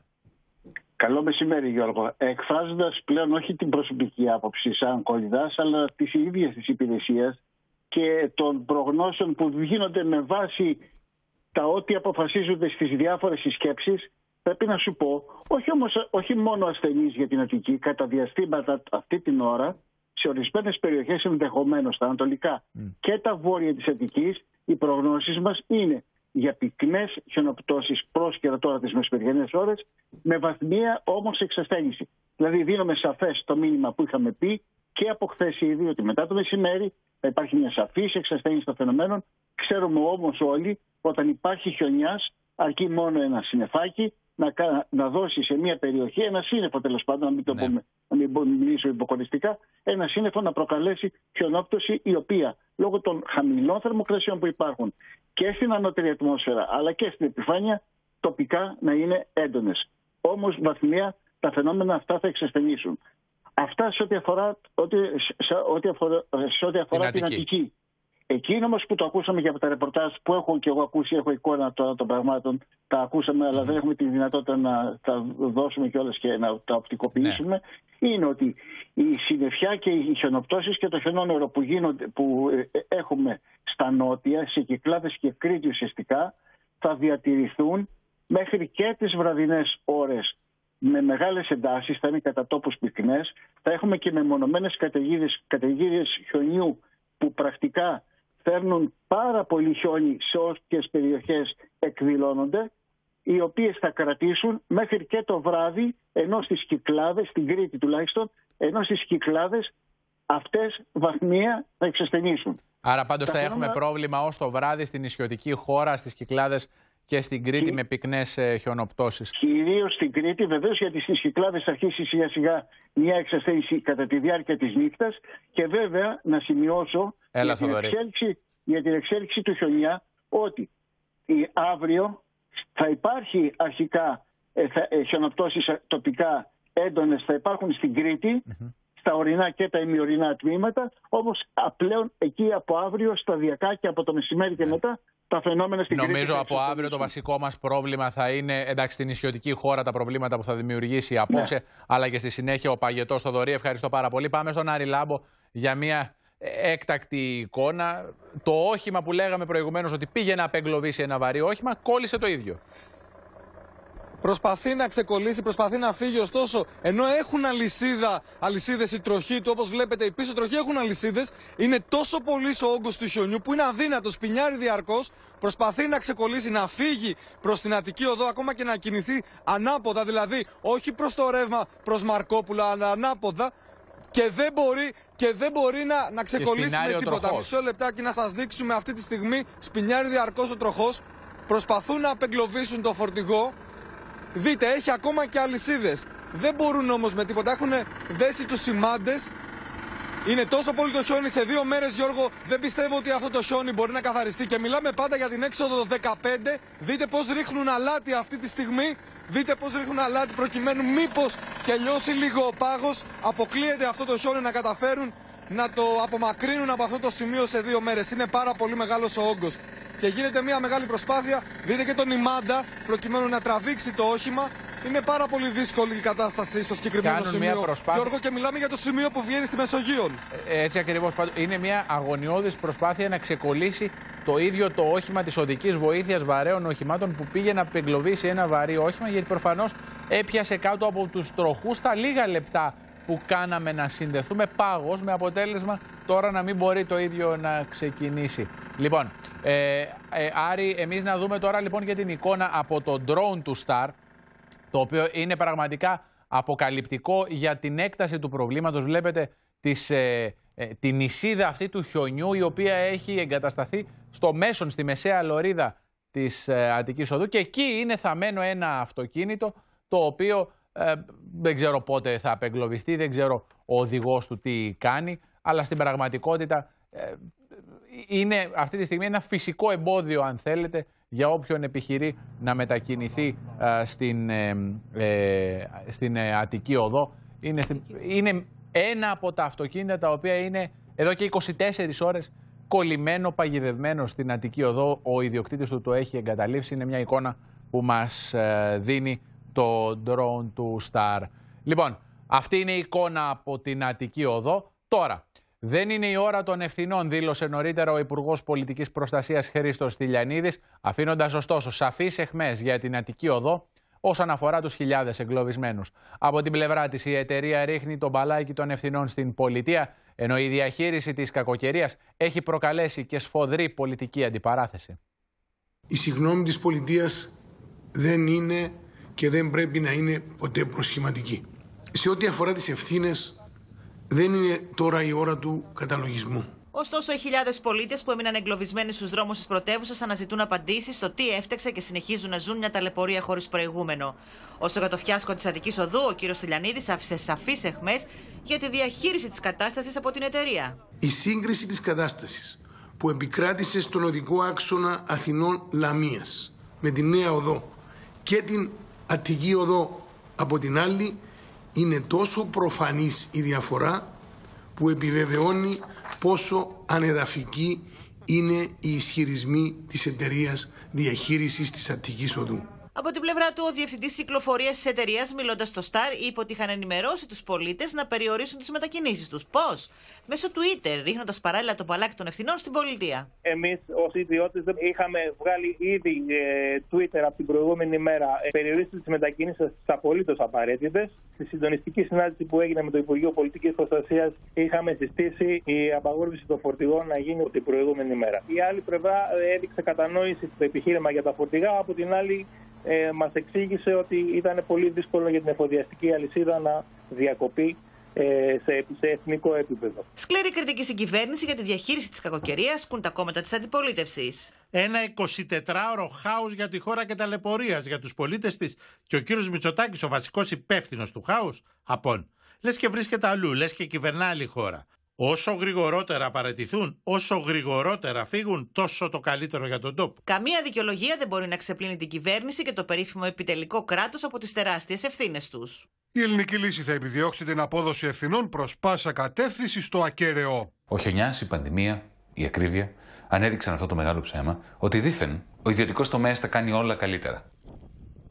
Αυτή ήταν η πολιτική αντιπαράθεση και βεβαίως ε, οι εχμές που άφησε ο κύριος ε, Στυλιανίδης νωρίτερα στην ενημέρωση. Τα προβλήματα όμως για τους πολίτες συνεχίζονται ακόμα με κυρίαρχο αυτό του ρεύματος. Μαζί μας είναι η κυρία Αγγελική, η τηλεθεάτριά μας, η οποία είναι στο ψυχικό. Η οποία είναι πόσες ώρες είστε, κυρία Αγγελική, χωρίς ρεύμα. Καλό μεσημέρι. Ναι, γεια σας. Είμαι από χθες το βράδυ 9 η ώρα. Από χθες το βράδυ 9 η ώρα. Είστε Ναι. μόνοι σας στο σπίτι; Είμαι με μια, ένα- μια κόρη και με την κόρη μου και έχω χειρουργηθεί πρόσφατα στο πόδι. Έχετε, είστε κλινήρης, αν μου επιτρέπετε; Ναι, ναι, ναι. Άρα τώρα είστε μια γυναίκα σε αδυναμία η οποία είναι χωρίς ρεύμα επί ε, 19-20 ώρες. Αυτό είναι... Έχετε προσπαθήσει να επικοινωνήσετε με τον ΔΕΔΙΕ Βεβαίως, Βεβαίως. και; Σαφώς δεν απαντήσανε. δεν έχετε πιάσει γραμμή ακόμα; Όχι, καλή και δεν απαντάνε. Ε, αν μου επιτρέπετε είστε σε πολυκατοικία, σε μονοκατοικία; Πολυκατοικία. Η μισή πολυκατοικία έχει ρεύμα, η άλλη μισή δεν έχει. Ναι, μπορεί, ναι, αυτό έχετε μία αίσθηση, δεν ξέρω, η κόρη σας ενδεχομένως από την υπόλοιπη γειτονιά αν έχει ρεύμα; Ε, η απέναντι πολυκατοικία δεν έχει και η μισή πολυκατοικία απομένω εγώ. Ε, ο δρόμος που είναι μπροστά από το σπίτι σας είναι διαβατός. Μπορεί να περάσει κανείς, ε, να έρθει σε ποιο σημείο του ψυχικού είστε για να μας δώσετε μια εικόνα να κατευθύνουμε και εμείς τους αρμοδίους Τσέντνερ, που ενδεχομένως Τσέντνερ. παρακολουθούν. Τσέντνερ. Συγγνώμη, δεν σας άκουσα. Φρυδερίκου Τσέντνερ. Ναι. Ε, αν μπορείτε να με τοποθετήσετε λίγο στο ψυχικό που είναι αυτό, γιατί δεν γνωρίζουν ενδεχομένως όλοι οι τηλεθεατές μας ε, την γεωγραφία.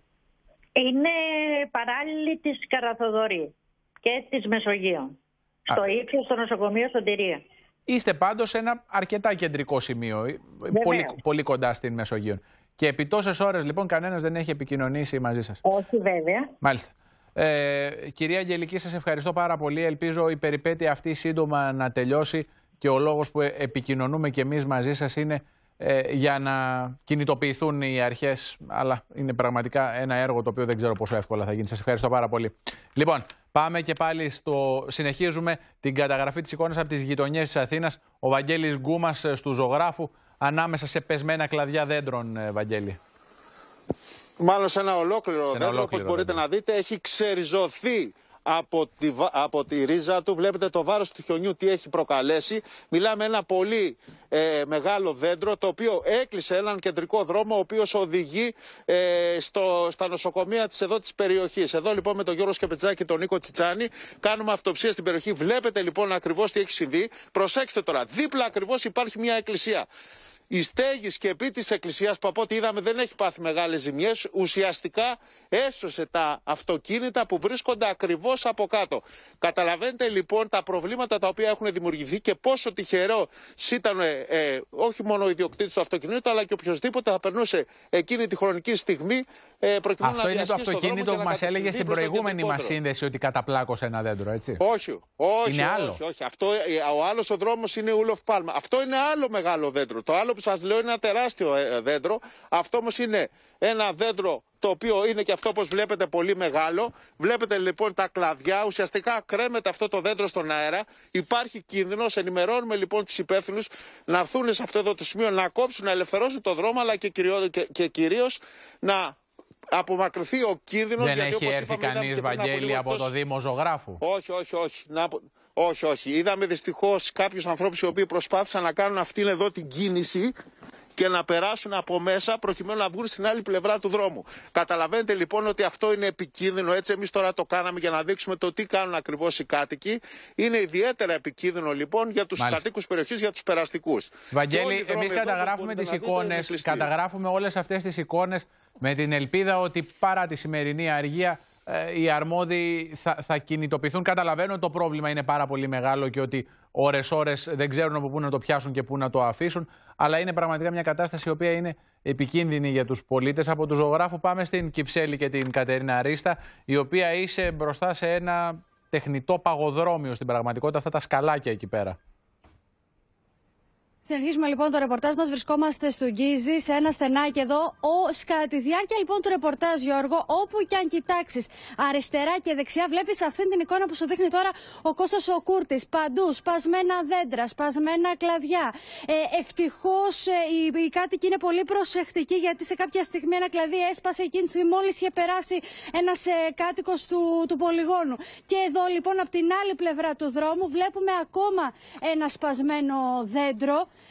το οποίο παρατρίχα δεν έχει πέσει επάνω στο αυτοκίνητο. Να σου πω ότι πριν από λίγο πέρασε εδώ από την περιοχή, περάσανε δύο περιπολικά και η Δημοτική Αστυνομία. Κατέγραψαν κάποια προβλήματα εδώ που τους ε, είπαν οι κάτοικοι Γιώργο. Η κατάσταση, να σου πω ότι στη λεωφόρο Τσαλδάρη που βρίσκεται στα δεξιά μας είναι λίγο καλύτερη. Βλέπουμε ότι τα αυτοκίνητα κινούνται με περισσότερη Εντάξει, Οι μεγάλοι δρόμοι, για να είμαστε ειλικρινείς, Κατερίνα, κάπως έχουν καθαριστεί. Το πρόβλημα πλέον εντοπίζεται στους μικρότερου και στους καθέτους και τις παραλίλους, αλλά είναι πολύ χρήσιμο το ρεπορτάζ που κάνετε για να έχουμε μια επιστασία του προβλήματος σε όλες τις γειτονιές της Αθήνας. Πάμε και πάλι στον Άρη Λάμπο, ο οποίος είναι καθοδόν. Είσαι στην Αττική Οδό, Άρη, για να καταλάβουμε ότι δεν είναι το πρόβλημα ε, τόσο το αν είναι καθαρός αυτή τη στιγμή ο δρόμος, όσο ε, στις εισόδους και στις εξόδους από ό,τι αντιλαμβάνομαι και βεβαίως τώρα χιονίζει και πάλι. Ακριβώς, Γιώργο, είναι πολύ σφοδρή η χιονόπτωση. Βρισκόμαστε στην Αττική Οδό, περάσαμε τον προαστιακό της Παλίνη για να σας δώσουμε το γεωγραφικό στίγμα. Όπως βλέπετε, ο δρόμος είναι σχετικά βατός. Μάλιστα, ορισμένα οχήματα κινούνται και με σχετικά μεγάλη ταχύτητα. Παρ' όλα αυτά, είναι δώρον άδωρον γιατί είναι αδύνατον κάποιος να βγει από τις παράπλευρες εξόδους. Δηλαδή, εμείς θα πλησιάσουμε τώρα την έξοδο της Ραφίνας να δούμε σε τι κατάσταση είναι ο δρόμος. Μπορεί κάποιος να φύγει. Το μόνο που γνωρίζουμε μέχρι στιγμής από τους δρόμους οι οποίοι είναι εφικτό να είναι προσβάσιμοι είναι η έξοδος της Πεντέλης και προς την Κηφισίας. Από εκεί μπορούν να βγουν οι οδηγοί. Μέχρι στιγμής ναι. από όποιες εξόδους περάσαμε, 13, 14, 15, είναι όλες Είναι τα ε, σημεία στα οποία επιχείρησαν εχθές και οι δυνάμεις του στρατού και των ΕΚΑΜ και κάπως φαίνεται ότι καθάρισαν τα πράγματα και βοήθησαν να δημιουργηθούν σημεία εισόδου και εξόδου στην Αττική Οδό. Άρη, ευχαριστώ ε, πάμε σε έναν ακόμα ε, πολίτη ο οποίος αντιμετωπίζει πρόβλημα με την ηλεκτροδότηση. Είναι ο κύριος Αποστόλης από την ε, Νέα Σμύρνη. Κύριε Αποστόλη, καλό μεσημέρι. Καλό μεσημέρι και σε εσάς. Πείτε μας ποιο είναι το πρόβλημα που αντιμετωπίζετε αυτή τη στιγμή και πού είστε ακριβώς για να καταλάβουμε; Είμαστε στη Νέα Σμύρνη, έχει κοπεί το ρεύμα από τις 5 η ώρα το πρωί, τα ξημερώματα. Ε, το θέμα είναι ότι παίρνουμε και τηλέφωνο στην ΔΕΙΔΕ και αυτά που είναι υπεύθυνοι των ε, ηλεκτροδοτήσεων γενικά, των ε, βλαβών κτλ. Αλλά φυσικά δεν μπορούμε να τους πιάσουμε στο τηλέφωνο. Βγαίνει ένας αυτόματος τηλεφωνητής. Ε, η πολυκατοικία, η δικιά μας τουλάχιστον εδώ πέρα στην Αχνό των Μαρτύρων που είμαστε εμείς, ε, υπάρχουν πέντε μωρά παιδιά, υπάρχει λεχόνα. Καταλαβαίνω ότι είναι μεγάλο το πρόβλημα, αλλά δεν μπορώ να δεχτώ είναι τη 2022 στην Αττική Ευθύμη να μην έχουμε ρεύμα, ξέρω εγώ, μετά από τόσες ώρες. Και καταλαβαίνετε ότι είναι, δεν έχουμε θέρμανση και τα πράγματα. Είναι πραγματικά είναι λίγο... μια πολύ δύσκολη συγκυρία. Ούτε να πάμε δεν μπορούμε.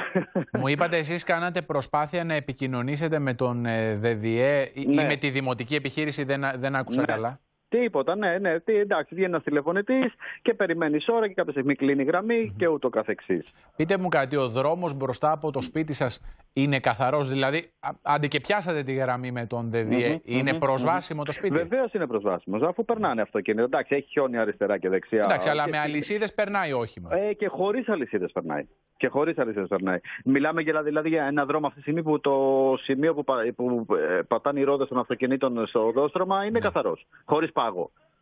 Κατάλαβα. Μέση, Άρα σε εσάς το πρόβλημα δεν είναι η προσβασιμότητα. Όχι. Έχετε εικόνα αν το πρόβλημα δημιουργήθηκε από πτώση δέντρου, από κλαδιά ή από κάτι άλλο. Βέβαια, πέντε η ώρα το πρωί το πιθανότερο είναι να το Να σας πω την αλήθεια, επειδή βγήκα λίγο έξω το πρωί και πήγα στο περίπτερο, ο, μου είπε ο περίπτερος ότι ακούστηκε κάτι, ότι κάτι έπεσε, κάτι έγινε με μια κολόνα. Δεν ξέρω παρά. Περίπτερο δεν έχω άλλη εικόνα. Κύριε Αποστόλη, σας ευχαριστώ πάρα πολύ. Ελπίζω πολύ σύντομα να τελειώσει η περιπέτειά σας Κυρίως για αυτό που είπατε και για τα μικρά παιδάκια και για την γυναίκα που είναι ελεχόνα και δεν χρωστάνε τίποτα. Σας ευχαριστώ πάρα πολύ. Πάμε στο Γιώργο Σαραντάκο και πάλι. Διότι, Γιώργο, νομίζω ότι οι πολίτες οι οποίοι κατακλείζουν το τηλεφωνικό κέντρο του ΣΤΑΡ, όπως με ενημερώνουν, χρειάζονται μία απάντηση από τους αρμοδίους της ΔΕΗ και του ΔΔΕ για το τι έχει συμβεί ε, και είναι τόσες ώρες χωρίς ρεύμα. Λοιπόν, Γιώργο, μιλήσαμε πριν από λίγο με τον ΔΔΕ.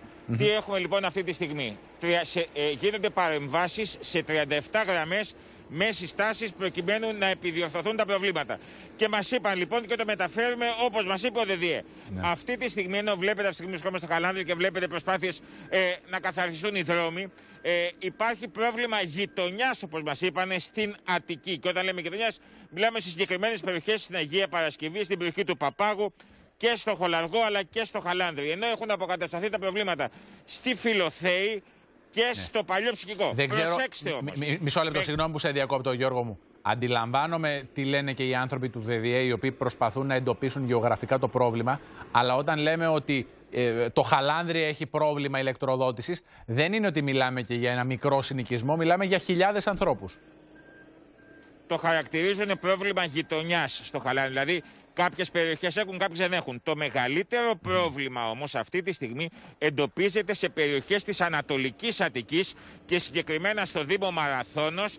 Να το πούμε καλύτερα στο Δήμο Νέας Μάκρης Ναι. Μαραθώνος, για να το καταλάβει ο κόσμος, όπου είναι δύσκολη πρόσβαση. Και συγκεκριμένα στην περιοχή του Νέου Βουτσά, στο Μάτι, Ναι. σε περιοχές του Ζούμπερι και στην Ανατολή. Και σε περιοχές της Ραφίνας, του Δήμου Ραφίνας Πικερμίου, όπως είναι η Καλλιτεχνούπολη και το Τράφι.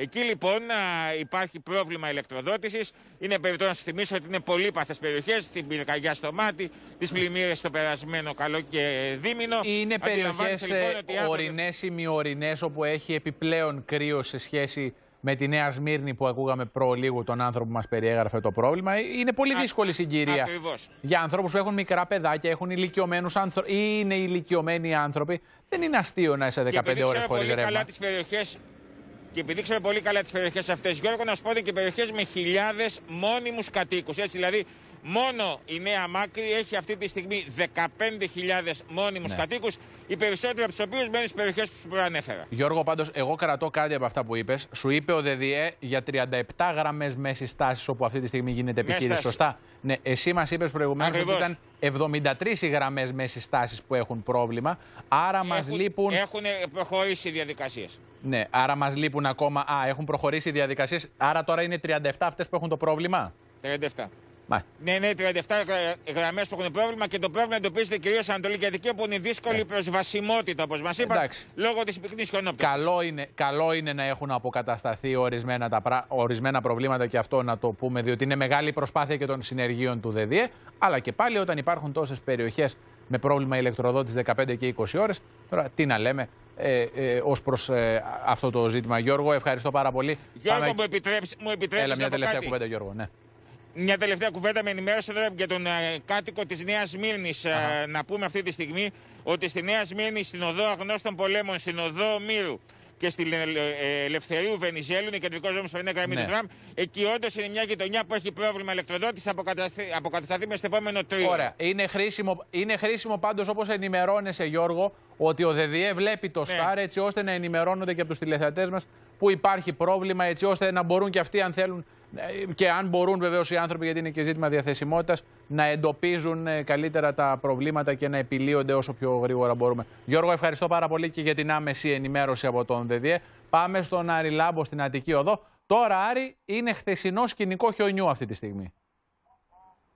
Ακριβώς, Γιώργο, και πρέπει να σου πω ότι αυτό το σημείο στην πραγματικότητα είναι δρόμος. Είναι η έξοδος της Ραφίνας επί της Αττικής Οδού. Είναι αυτό που λέγαμε ότι μπορεί η κεντρική αρτηρία να είναι άδεια, αλλά δείτε το τοπίο. Παρόλο που φαίνεται από τα σημάδια από τις ερπίστριες ότι έχει περάσει κάποιο μεγάλο όχημα που προσπάθησε να διευκολύνει την κατάσταση, είναι τουλάχιστον 11 οχήματα μέτρησα, μπορεί να είναι και παραπάνω, τα οποία είναι ακινητοποιημένα πάνω στην έξοδο, η οποία έχει καλυφθεί κιόλας από χιόνι. Και δεν είναι μόνο αυτοκίνητα γιοταχή μικρού κυβισμού, είναι και αγροτικά όπως βλέπετε, που ξέρουμε ότι τα, τέσσερα, και τα, τα αγροτικά είναι πιο δυνατά, είναι και φορτηγά, είναι και πιο βαριά οχήματα, που θεωρητικά ενδεχομένως οι οδηγοί τους να πίστευαν ότι θα Πάντως- μπορούσαν να απεγκλωβιστούν. Παρ' όλα αυτά ήταν αδύνατον, Γιώργο. αυτό, αυτό, αυτή η έξοδος που μας δείχνετε τώρα με τον συνάδελφο Περατέρ Άρη, πάντως είναι κάτι που εγώ μέχρι στιγμής δεν το είχα δει ως σημείο ρεπορτάζ. Είναι σχεδόν σαν απάτητο χιόνι, ιδίως στα πλαϊνά του δρόμου, εκεί όπως είπες που δεν έχει περάσει η ερπίστρια του Γκρέιντερ. Είναι κανονικό χιόνι Και ατόφιο. δείτε, δείτε, με τη βοήθεια του Γιάννη του Κουμπανάκη του οπερατέρ μας θα σας δείξουμε κιόλας πόσο βαθύ είναι το χιόνι σε αυτό το σημείο. Είναι όπως το είπες, απάτητο και είναι γύρω στους 30 πόντους. Δηλαδή είναι πάρα πολύ το χιόνι και δεν έχει περάσει στην πραγματικότητα κανένας. Είναι και ένα σημείο το οποίο δεν, έχει, δεν το έχουμε ξαναδεί. Καθώς είναι πολύ μακριά, μέχρι πρώτη να υπενθυμίσουμε ότι ήταν κλειστή η Αττική Οδό σχεδόν σε όλα τα μέρη. Δηλαδή, μετά τη δοκίση της Πλακεντίας, μετά την Ανθούσα, δεν μπορούσε σχεδόν κανείς να περάσει. Έχουμε φτάσει λοιπόν εδώ, σας δίνουμε εικόνα από την έξοδο της Ραφίνας, που είναι το τοπίο πραγματικά απόκοσμο. Δεν μπορεί να πιστέψει κανείς ότι αυτό είναι δρόμος, Γιώργο. Αυτή λοιπόν είναι η έξοδος της Ραφίνας. Είναι πραγματικά, όπως λες και εσύ, Άρη, ένα σκηνικό που δεν το είχαμε ξαναδεί. Εσύ παραμένεις στο σημείο, κάνεις ρεπορτάζ, πάρε μία ανάσα. Είδαμε κυρίες και κύριοι το χάος που έχει δημιουργηθεί στις γειτονιές της Αθήνας, καθώς η σφοδρή χιονόπτωση πάγωσε τους δρόμους. Από το βάρος του χιονιού έπεσαν δέντρα, καταπλακώθηκαν αυτοκίνητα, ενώ δεκάδες σπίτια βυθίστηκαν στο σκοτάδι. Η Αττική πάγωσε.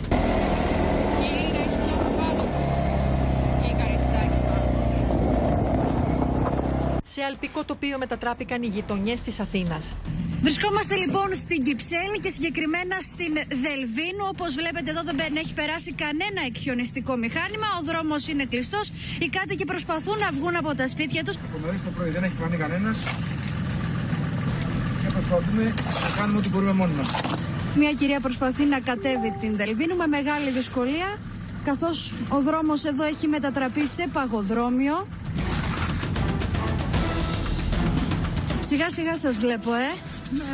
Τόσο χιόνι στην Κυψέλη δεν πάμε. Είναι στην οδό λοιπόν Κούτια και Δοϊράνη. Όπως βλέπετε, δύο κάτοικοι με τα φτιάρια τους προσπαθούν να ανοίξουν τον δρόμο από μόνοι τους για να περάσουν οι κάτοικοι. Οι δρόμοι εδώ έχουν μετατραπεί σε παγοδρόμια. Το βάρος του χιονιού έριξε δέντρα, έκλεισε δρόμους και άφησε τους πολίτες στο σκοτάδι. Έχουν πέσει ένα πεύκο εδώ και ένα στην άλλη άκρη της οδού και δεν μπορεί να κινηθεί κανείς. Περιμένουμε το συνεργείο να τα σηκώσει. Ούτε φαγητό ούτε τίποτα. Χωρίς ρεύμα είμαστε από χτες, από τις 6 ώρα το απόγευμα και σήμερα που κοιτάμε στο site της ΔΕΗ θα παραμείνουμε για μια μισή μέρα ακόμα έτσι. Από τις 5 χθες το απόγευμα είναι χωρίς ρεύμα τα σπίτια στην οδό Κυλκή στη Φιλοθέη λόγω αυτού του πεύκου. Από χθες το απόγευμα δεν έχουμε ρεύμα. Από ό,τι καταλαβαίνουμε, όλα τα συνεργεία κάνουν αυτές τις δουλειές. Περιμένουμε να έρθει η σειρά μας. Έχουν πέσει δύο πεύκα και έχουν κλείσει τη πρόσβαση προς το ποτιστρίο. Στην Παλαιολόγου, στο Χαλάνδρι, το πεύκο που έπεσε παρέσυρε τα καλώδια του τρόλεϊ και ένα μεγάλο κομμάτι του δρόμου έχει κλείσει. Με το πρώτο φως της ημέρας, οι πολίτες βρήκαν τα αυτοκίνητά τους καταπλακωμένα από τα δέντρα. Συνεργεία του Δήμου στην Πετρούπολη με αλάτι και φτιάρια προσπαθούν να καθαρίσουν τον πάγο από τα πεζοδρόμια. Δεν χρειάζεται να κυκλοφορούν σήμερα πολύ. Α αφήσουμε πρώτα να λιώσει καλά το χιόνι. Γιατί τα πεζοδρόμια είναι... έχουν πιάσει πάγο. Η κίνηση σε πολλά σημεία στην Αλσούπολη, στη Νέα Ιωνία, είναι σχεδόν αδύνατη. Δεν καθάρισε κανένας, δεν πέρασε τίποτα. Στο σούπερ μάρκετ δουλεύουμε. Και ήρθαμε για δουλειά. Τεγάλιο, παιδιά. Μία ώρα και. Δεν είναι καθαρισμένο τίποτα. Κάθονται οι δημόσιοι, όλο το δημόσιο κάθεται και δουλεύει ο ιδιωτικός τομέας. Είναι πράγματα αυτά τώρα. Εσύ θα βγαίνει τώρα να πα να ψωνίσεις; Με τέτοιο κρύο; Υπήρχαν και οι πιο τολμηροί που πήγαν για δουλειά με το μηχανάκι. Έχω μαγειρίο, πρέπει να ανοίξω. Έχω πέντε πελάτες, πρέπει να τους εξυπηρετήσω. Γλιστράει. Είναι η πέμπτη φορά που πέφτω. Λοιπόν, κυρίες και κύριοι, έχουμε μια έκτακτη ενημέρωση που αφορά νομίζω πολλούς πολίτες από το Υπουργείο Υγείας. Μας ενημερώνει τώρα και η Κατερίνα Παπακοστοπούλου.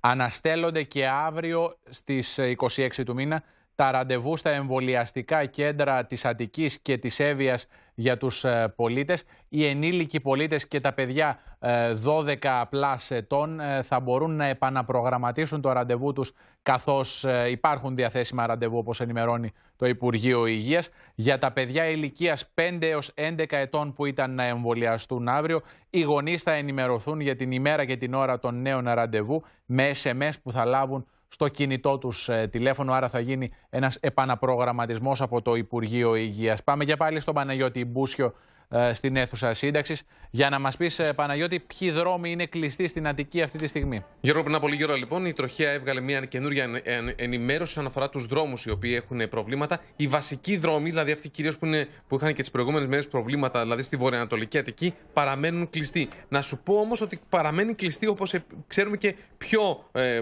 ε, δρόμοι που είναι στο κέντρο της ε, πόλης, όπως παραδείγματος χάρη η λεωφόρος Κατεχάκη και στα δύο ρεύματα κυκλοφορία. Καλά, εννοείται ε, η Αττική οδός ε, δεν υπάρχει περίπτωση να μπει κανείς ε, στο δρόμο. Και επίσης πρέπει να σου πω, Γιώργο, ότι σύμφωνα με την τροχία, η κίνηση των οχημάτων ε, στην νέα εθνική οδό Αθηνών Λαμίας, δηλαδή στον Κυφισό, γίνεται μόνο, πρέπει να γίνεται μόνο με αντιολιστικές αλυσίδες παρά το γεγονός ότι λίγη ώρα πριν εδώ στο Σταρ που είναι ε, πολύ κοντά στην, ε, στο λεωφόρο Κυφισού, ε, συνάδελφοι ήρθαν χωρίς να χρειάζονται καθόλου αλυσίδες. Ο δρόμος είναι καθαρός. Το σίγουρο είναι πάντως ότι τις επόμενες ώρες θα υπάρξουν θέματα και πρέπει να είμαστε πάρα πολύ προσεκτικοί στην οδήγηση, καθώς θα υπάρξει πάγος. Όμως να, να επαναλάβω ότι τα κάθετα Μάλιστα. στενά, όπως λέμε και από το ρεπορτάζ, είναι πάρα πολύ δύσκολο. Μα, μα εκεί τώρα είναι και το πρόβλημα τι μεγάλες οδικές αρτηρίες. Οι αρχές θα τις καθαρίσουν αν δεν τις έχουν καθαρίσει για να δώσουν μια προσβασιμότητα. Το πρόβλημα και η μάχη των επόμενων ημερών, Παναγιώτη, είναι ακριβώς εκεί στους ε, δρόμους. Ευχαριστώ πάρα πολύ για οτιδήποτε νεότερο συνδεόμαστε και πάλι.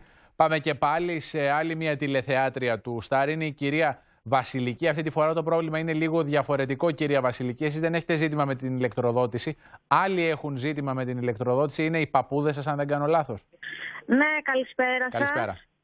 Ε, από χθες το απόγευμα στην περιοχή Αρτέμιδα ε, δυστυχώς ε, δεν έχουν ρεύμα. Ε, και δυστυχώς έχουν εξεφορτήσει τα τηλέφωνά τους αυτή τη στιγμή. Οι άνθρωποι είναι ηλικιωμένοι. Δεν μπορώ να επικοινωνήσω μαζί τους και το χειρότερο είναι ότι δεν ε, μπορώ να πάω εκεί να τους πάρω. Ναι, δεν μπορείτε λόγω του χιονιού. Ε, τι, ηλικίας, τι ηλικίας είναι η συγγενή σας; Η, η γιαγιά μου είναι 70 χρονών, ο παππούς μου είναι 85 χρονών. Ναι. Ε, έχουν κάποια ζητήματα υγείας; Ο παππούς μου έχει θέματα υγείας ακριβώς. Και δεν μπορώ να πάω να ναι. τους πάρω. Είναι μες στο κρύο φαντάζομαι αυτή τη στιγμή, τη στιγμή που δεν έχει ρεύμα, δεν θα μπορεί να δουλεύει ούτε η θέρμανση. Ναι. Και δεν γνωρίζουν τι κάνουν γιατί έχουν ξεφορτήσει τα τηλέφωνά τους. Από τη στιγμή που από χθες το απόγευμα δεν υπάρχει ρεύμα. Προσπαθήσατε να επικοινωνήσετε με τον ε, Δήμο; Είναι, στα, είναι στο Δήμο Σπάτων, δεν ξέρω. όχι, είναι Δήμος Αρτέμιδας. Προσπαθώ να πάρω τηλέφωνο και τον Δήμο, δεν βρίσκω γραμμή. Προσπαθώ να πάρω τηλέφωνο και τον ΔΔΕ. Ναι. Ούτε εκεί βρίσκω γραμμή. Εχθές, κάποια στιγμή, κατά τις 11 η ώρα, κατάφερα να πιάσω και μου είπαν ότι δεν μπορούν να κάνουν τίποτα αυτή τη στιγμή. Με τον ΔΔΕ πιάσατε γραμμή χθες το βράδυ. Με το ΔΔΕ χθες και μου είπαν ότι δεν μπορούν να κάνουν τίποτα αυτή τη στιγμή και δεν γνωρίζουν τι ώρα θα αποκατασταθεί η ζημιά που έχει γίνει. Τι ώρα είχατε την τελευταία επικοινωνία μαζί τους, ε, Ήταν 9 η ώρα το πρωί. 9 η ώρα το πρωί εχθές. Ναι, και αυτή τη στιγμή δεν ναι. μπορώ να επικοινωνήσω μαζί τους. Αυτή την ώρα, ε, βεβαίως, εφόσον, εφόσον προφαν... φαντάζομαι κιόλας ότι η περιοχή είναι σε αυτές τις περιοχές εκεί στην Ανατολική Αττική που έχουν επηρεαστεί και είναι σε μια δύσκολη κατάσταση. Ναι. Εννοείται. Και δεν μπορώ να πάρω το αυτοκίνητό μου, να πάω να τους πάρω, να τους φέρω στο σπίτι εδώ που έχουμε ρεύμα, που έχουμε ένα Εσείς που μένετε; Εμείς μένουμε Πετρούπολη. Ε, είστε, είστε στην άλλη μεριά της Αττικής επί της Ακριβώς. Ε, κυρία, κυρία Βασιλική, αν θέλετε ε, να μας πείτε τη διεύθυνση των ανθρώπων, πολλοί ακούν ε, την, ή την περιοχή, την περιοχή, μην, μην μας πείτε ακριβώς περι... το δρόμο. Ακριβώς. Λοιπόν, ε, είναι στην Αρτέμιδα, είναι Αγίου Διονυσίου και δεξαμενής. Αγίου Διονυσίου. Μάλιστα. Ε... Εγώ όταν μίλησα το πρωί μαζί τους μου είπαν ότι ο συγκεκριμένος δρόμος δεν έχει κανένα ρεύμα. Εμείς θα κινηθούμε ούτως ή άλλως προς το σημείο, κυρία Βασιλική, ε, γιατί καταλαβαίνουμε ότι το πρόβλημα αυτή τη στιγμή στην Ανατολική Αττική είναι πάρα πολύ μεγάλο με την ηλεκτροδότηση, οπότε ε, δεν ξέρω αν θα έχουμε απάντηση για εσάς. Ελπίζω όμως κάποιος αρμόδιος μέσω ημών ε, να έχει μια απάντηση καλύτερη για εσάς και ελπίζω πολύ σύντομα η περιπέτεια αυτή να τελειώσει χωρίς κανένα άλλο πρόβλημα πολύ. πέραν τη ταλαιπωρία. Και εγώ σας ευχαριστώ πάρα πολύ για την παρέμβαση. Λοιπόν, πάμε και πάλι στον ε, Βαγγέλη Γκούμα του ζωγράφου. Νομίζω, Βαγγέλη, σήμερα εσύ μετράς τα πεσμένα δέντρα. Μετράω τα πεσμένα δέντρα, τις πεσμένες κολόνες, τα χτυπημένα αυτοκίνητα για να καταλάβετε όμως το πόσο ε, δυνατό, πόσο μεγάλο ήταν το βάρος του χιονιού. Βλέπετε λοιπόν, θέλω να δείτε τις ρίζες αυτού του δέντρου. Προσέξτε λοιπόν, το βάθος είναι πάνω από ένα μέτρο λοιπόν. Ένα δέντρο που πρέπει να είναι εδώ πέρα πάρα πάρα πολλά χρόνια. Αυτό λοιπόν το δέντρο ξεριζώθηκε από το βάρος του χιονιού. Πέρασε πριν από λίγο ένας κάτοικος και μας είπε ότι άκουσε ένα τρομακτικό θόρυβο και το είδε το δέντρο να προσγειώνεται πάνω στη στέγη της εκκλησίας. Και ακριβώς από κάτω, όπως είπαμε, υπάρχουν δύο αυτοκίνητα. Τη γλίτωσαν τα αυτοκίνητα, η Εκκλησία γλίτωσε τα αυτοκίνητα. Σε άλλες όμως περιπτώσεις πιο κάτω είδαμε αυτοκίνητα τα οποία στραπατσαρίστηκαν, ισοπεδώθηκαν από πεσμένα δέντρα. Είδαμε πεσμένες κολόνες της ΔΕΗ, είδαμε καλώδια κρεμασμένα. Και είδαμε λοιπόν και κατοίκους οι οποίοι προσπαθούσαν απεγνωσμένα να απεγκλωβίσουν τα οχήματά τους από κεντρικούς δρόμους όπως είναι η Κοκκινοπούλου, όπως είναι ο Λεοφπάλμε, να αποκλωβίσουν τα οχήματά τους για να μπορέσουν να μετακινηθούν και να πάνε να βοηθήσουν, όπως μας είπαν, χαρακτηριστικά δικούς τους ανήμπορους ανθρώπους. Βαγγέλη, να σε ευχαριστήσω πάρα πολύ. Λοιπόν, εμείς συνεχίζουμε. Πάμε στην Μαρία Παπά, η οποία κινείται παράλληλα περίπου με την Αττική Οδό που είπαμε προηγουμένως. Αν δεν κάνω λάθος, είσαι κοντά στη Δουκής Πλακεντίας, Μαρία; Είμαστε στο Χαλάνδρη επί της Δουκής Πλακεντίας. Όπως μπορείτε να δείτε έχουμε και εδώ πτώσεις δέντρων. Ε, η κυκλοφορία έχει διακοπεί όχι μόνο από το χιόνι αλλά και από την πτώση αυτού του Πεύκου. Ε, βλέπουμε ένα αστυνομικό όχημα από πίσω. Δεν ξέρουμε κατά πόσον μπορεί να βοηθήσει την κατάσταση. Τα αυτοκίνητα ανεβαίνουν στο κράσπεδο προκειμένου να συνεχίσουν την πορεία τους. Ε, η κατάσταση είναι εξαιρετικά δύσκολη. Εδώ και δύο-δυόμιση ώρες, Γιώργο, προσπαθούμε να φτάσουμε από το δαχτυλίδι στην Μεσογείο, όπου έχουμε αναφορές για πάρα πολλά προβλήματα. Ε, είναι εξαιρετικά δύσκολο. Ε, μπήκαμε μέσα στα στενά, ε, στα βρυλίσια, όπου είναι όλα σχεδόν απροσπέλαστα. Έχουν παρατηρήσει κρατήσει αυτοκίνητα γιατί δεν μπορούν να κάνουν αλλιώς. Ε, προσπαθούν να απεγκλωβίσουν άλλα. Η, η, κατάσταση πραγματικά είναι χαοτική. Ε, ε Μαρία, θέλω να σου, πω, επειδή, να σου πω, με συγχωρείς σε διακόπτω, επειδή και εγώ κατέβηκα τη Δουκή Πλακεντίας για να μπορέσω να έρθω στο Στάρ από το σπίτι μου.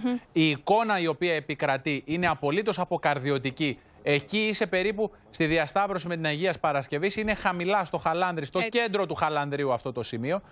Και είναι προφανές ότι ο Δήμος δεν μπορεί να κάνει τα πάντα. Ο Δήμος όμως Χαλανδρίου θα μπορούσε να κάνει πολύ καλύτερα πράγματα στο κομμάτι του αποχιονισμού των δρόμων, διότι πάρα πολλοί δρόμοι στο Χαλάνδρι, μικροί και στο κυρίως κομμάτι του Χαλανδρίου και στο πάτημα Χαλανδρίου που δεν έχει ακουμπήσει ο Δήμος, αυτή τη στιγμή είναι χωρίς δυνατότητα επικοινωνίας με τη βασική οδική αρτηρία την Πλακεντίας, που ε, στο λέω Μαρία Εξιδίας Πύρα, αν ανέβετε παραπάνω στην Πλακεντίας, προς το πάνω κομμάτι, προς το πάτημα Χαλανδρίου, θα δείτε ακόμα χειρότερη κατάσταση. Με ανθρώπους δεν μπορούν να βγουν καν από τα σπίτια τους.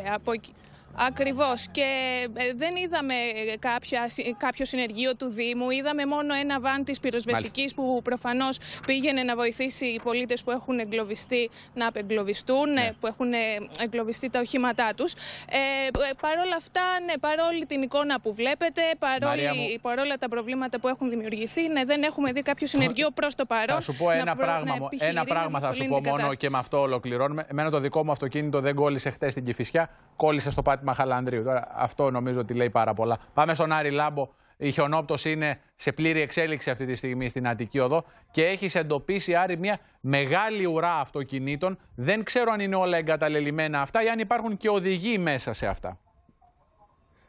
Γιώργο, καταρχάς να εξηγήσουμε λίγο τη γεωγραφία. Εμείς στο διάστημα ναι. αυτό και σας δείχνουμε το ρεύμα προς αεροδρόμιο. Πίσω μου δηλαδή πηγαίνουμε προς αεροδρόμιο. Τώρα με τη βοήθεια του Γιάννη του Κουμπανάκη θα σας δείξουμε μια απίστευτη εικόνα. Αν η κάμερα γυρίσει να δείξουμε το άλλο ρεύμα, δηλαδή το ρεύμα προς Ελευσίνα, έχουμε πρώτα τις γραμμές του προαστιακού και πίσω το ρεύμα προς Ελευσίνα. Υπάρχει μια τεράστια ουρά αυτοκινήτων η οποία εκτείνεται για δεκάδες χιλιόμετρα με πάρα πολλά φορτηγά, με πάρα πολλούς οδηγούς. Βλέπω και ανθρώπους οι οποίοι περπατάνε, δηλαδή είναι ακόμα εγκλωβισμένοι. Ε, ξαναλέμε, είναι το ρεύμα προς Ελευσίνα, δηλαδή ε, ανάποδα από το αεροδρόμιο και υπάρχει μια τεράστια μια τεράστια ουρά αυτοκινήτων και κόσμος ο οποίος είναι ταλαιπωρημένος εδώ και πάρα πολλές ώρες. Θα προσπαθήσουμε Γιώργο να τους προσεγγίσουμε γιατί καταλαβαίνεις ότι είναι πάρα πολύ δύσκολο. Επομένως συνοψίζουμε ότι το ρεύμα προς αεροδρόμιο έχει, έχει κάποια, είναι πιο, εύκολο, πιο εύκολα προσβάσιμο στην, στην κεντρική αρτηρία της Αττικής Οδού αλλά στο ύψος της, ε, της εξόδου της Ραφίνας το ρεύμα προς Ελευσίνα είναι εντελώς μποτιλιαρισμένο, είναι ακόμα πάρα πολύ οδηγοί εγκλωβισμένοι Γιώργο. Εδώ υπάρχει ακόμα φρέσκο χιόνι, υπάρχει μια κατάσταση η οποία είναι εξαιρετικά προβληματική. Άρη, εσύ συνεχίζεις το ρεπορτάζ, να σε ευχαριστήσω πάρα πολύ. Τώρα, κυρίες και κύριοι, είπαμε πολλές φορές για τα προβλήματα ηλεκτροδότησης που αντιμετωπίζουν πάρα πολλοί πολίτες ε, στην Αττική. Εδώ, η συνάδελφός μας, η Τασούλα Πανικολάου, επεχείρησε να επικοινωνήσει με το τμήμα βλαβών του ΔΔΕ. Νομίζω ότι το ντοκουμέντο, το ηχητικό που θα παρακολουθήσουμε, είναι απολύτως αποκαλυπτικό. Οι γενικές βλάβες παρουσιάζονται στις εξής περιοχές. Μεσόγεια, Παλίνη, Γέρακας, Σπάτα, Πικέρμη, Μαραθώνας, Σχοινιάς, Γραμματικό, Καλέντζη, Κερατέα, Λούτσα, Νέος Βουτσάς, Ανθούσα, Μάτι. Ακόμη Μαρούσι, Πεύκη, Κηφισιά, Νέο Ηράκλειο, Αχαρνές, Ψυχικό, Χαλάνδρη, Αγία Παρασκευή, Χολαργός, Διόνυσος, Νέα Φιλαδέλφια, Βούλα, Γλυφάδα, Παλαιό Φάληρο, Άγιος Δημήτριος, Ηλιούπολη. Σας πληροφορούμε ότι ο εκτιμόμενος χρόνος αναμονής είναι 39 λεπτά. Λόγω της έντονης κακοκαιρίας που αντιμετωπίζει τις τελευταίες ημέρες η χώρα μας, ο ΔΔΕ ενημερώνει τους καταναλωτές ότι καταβάλλεται κάθε δυνατή προσπάθεια επαναφοράς ηλεκτροδότησης στις περιοχές που αντιμετωπίζουν πρόβλημα. Νομίζω ότι είναι πλήρως κατανοητό το πρόβλημα. Πάμε και πάλι στην Μαρία Παπά, γιατί και εσύ, Μαρία, προσπάθησες να επικοινωνήσεις ε, με τον ε, ΔΔΕ.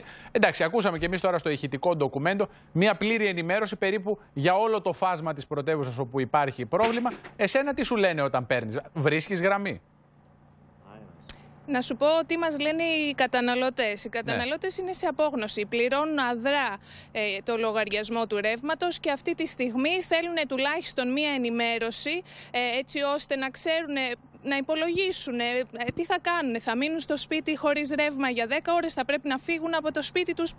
Προσπαθούν να βρουν μία λύση οι ίδιοι και δεν μπορούν να επικοινωνήσουν με την εταιρεία. Ε, πραγματικά μας περιγράφουν σε, ε, σε απόγνωση ότι βρίσκονται, ότι, γιατί είναι πολλά τα προβλήματα. Για παράδειγμα, είναι άνθρωποι που χρειάζονται οξυγόνο. Δεν είναι ότι Σωστά. θέλουν κάποιοι απλά να, να ανοίξουν, το, να έχουν φως μέρα είναι ακόμα. OK, okay, αλλά είναι πραγματικά πολύ, πολύ δύσκολο για τους ανθρώπους που έχουν προβλήματα υγείας, για τους ανθρώπους που έχουν μικρά παιδιά μέσα στο σπίτι. Ε, για τους ηλικιωμένους ανθρώπους πραγματικά ελπίζουμε ο ΔΔΕ να, να ακούει όσα μεταφέρουμε, όσα μεταδίδουμε ε, Έχω την αίσθηση ότι ο ΔΔΕ ακούει τα ρεπορτάζ του Στάρ και τους ανθρώπους οι οποίοι ε, βγαίνουν στον αέρα του Στάρ, διότι προηγουμένως είχαμε απάντηση μέσω του Γιώργου Σαραντάκου. Μαρία, ευχαριστώ πάρα πολύ. Ευελπιστώ ότι και για την περίπτωση της κυρίας Φλόρας τώρα η οποία είναι στην τηλεφωνική μας γραμμή μπορεί ο ΔΔΕ να έχει μία απάντηση αφού επικοινωνήσουμε. Κυρία Φλόρα, καλό μεσημέρι. Καλό μεσημέρι κύριε Ευγενίδη. Σας ευχαριστώ πολύ για την ε, επικοινωνία. Ήθελα να σας ενημερώσω. Τηλεφωνώ από το Μαρούσι. Από το Μαρούσι κι εσείς. Ε, είμαστε ενδιάμεσα Μαρούσι και πέφτει στο πιο ψηλό σημείο του Αμαρουσίου επί της Υψηλάντου. Mm-hmm. Κεντρικότατος δρόμος και έχουμε διακοπή του ρεύματος από εκτές το βράδυ στις 11 η ώρα. Ε, υπόψη ότι είμαστε... Είστε 16 και κάτι ώρες και εσείς χωρίς ρεύμα. Ακριβώς. Το θέμα είναι ότι είμαστε είμαστε μεγάλη πολυκατοικία ε, και υπάρχουν πάρα πολλά παιδιά και πάρα πολύ μεγάλοι άνθρωποι. Ε, αυτό είναι το πρόβλημα για τους γέροντες. Εσείς οι στην οικογένειά σας έχετε ηλικιωμένους ανθρώπους, έχετε παιδάκια; Ε, όχι δεν έχω, είναι σε μικρή ηλικία τα παιδιά μου νεαρά νεαρό ζευγάρι, ο γιος μου με την ύφη μου, αλλά στα διπλανά διαμερίσματα υπάρχουν μικρά μωρά τα οποία είναι χωρίς ρεύμα. Ε, σκέφτονται οι άνθρωποι απόψη αν συνεχιστεί, γιατί από ό,τι ακούσαμε θα συνεχιστεί αυτό το πράγμα και από ό,τι μας ενημέρωσαν ε, με μία ενημέρωση που είχαμε από το ΔΔΕ στο ελάχιστο που μπορούμε να έχουμε από το ΔΔΕ, γιατί ναι. πάντα είναι κατηλημένο το τηλέφωνο. Ναι. Ότι θα 39 λεπτά χρειάζεται για να βρει κανείς γραμμή στο ΔΔΕ να τους πει ότι έχει πρόβλημα. Δεν εγγυάται ότι θα λυθεί το πρόβλημα ο ΔΔΕ στα 39 ναι, λεπτά. Ναι, ναι. Ε, το θέμα είναι ότι θα αναγκαστούν λίγο πολύ όσοι έχουν τη δυνατότητα να μετακομίσουν σε ναι. γειτονικές περιοχές. Τι σας είπε ο ΔΔΕ εσείς όταν επικοινωνήσατε; Ε, Τίποτα, με έχεις σε αναμονή. Όσες φορές προσπάθησα να πάρω, ε, με είχε σε αναμονή. Και να σας πω και κάτι. Στο σπίτι μας έχουμε φυσικό αέριο για θέρμανση. Και έχω βάλει και φυσικό αέριο για ρεύμα. Ούτε το φυσικό αέριο μου απαντά. Είναι συνέχεια, με έχεις σε αναμονή. Όσες φορές προσπάθησα να πάρω. Αλλά και αυτό το πρόβλημα έγκυται στο ΔΔΕ, δηλαδή αυτός είναι ο αμέσως πάροχος. Ε, Προφανώς. Ε, Ενδιάμεσος είναι το φυσικό αέριο. Ακριβώς. Ακριβώς. Είναι... Ναι, το, ελπίζω κυρία Φλόρα η περιπέτειά σας σύντομα να λάβει τέλος και ο ΔΔΕ να αποκαταστήσει την Να είστε καλά βλάβη. και σας ευχαριστώ πολύ για την ενημέρωση και, και για την εγκυρότητα του δελτίου. Σας ευχαριστώ πολύ. Να είστε καλά κυρία Φλόρα, σας ευχαριστούμε πάρα πολύ. Τώρα, ε, έχουμε, είχαμε μία ακόμα προβληματική κατάσταση, ε, ένα από τα ε, προβλήματα που δημιούργησε η Ελπίδα. Είδαμε ανθρώπους ε, να κοιμούνται σχεδόν κατάχαμα σε ξενοδοχεία της Αθήνας μετά τα τεράστια προβλήματα που αντιμετώπισαν με την Αττική Οδό. Οι άνθρωποι εγκλωβίστηκαν στα αυτοκίνητά τους. Η Κατερίνα Τσαμούρη είναι μαζί μας. Να μας πεις τι ακριβώς έγινε Κατερίνα. Εμείς βλέπουμε και τις φωτογραφίες ανθρώπους να κοιμούνται πάνω στις μοκέτες ή όπου βρουν και τι απαντούν τα ξενοδοχεία για αυτές τις εικόνες που δεν περιποιούν τιμή σε κανέναν. Είναι εικόνες ντροπής, Γιώργο. Πράγματι, άνθρωποι ηλικιωμένοι, οδηγοί που ήταν εγκλωβισμένοι πάρα πολλές ώρε στην Αττική Οδό, κατάφεραν το βράδυ, λίγο μετά τις 9, να μεταφερθούν σε ξενοδοχείο της ε, Κάτζα. Προσπάθησαν να βρουν λίγο φαγητό, να ζεσταθούν. Δεν τα κατάφεραν. Όπως βλέπετε, κοιμούνται σε τραπέζια, χωρίς φαγητό, χωρίς μπαταρία στο κινητό τους. Είχαν εγκλωβιστεί. Μετά από πολλές ώρες κατάφεραν να απελευθερωθούν, πήγαν στο ξενοδοχείο και το αποτέλεσμα 100 άτομα σε μία καφετέρια χωρίς μάσκες, χωρίς ναι. αποστάσεις να περιμένουν μία βοήθεια.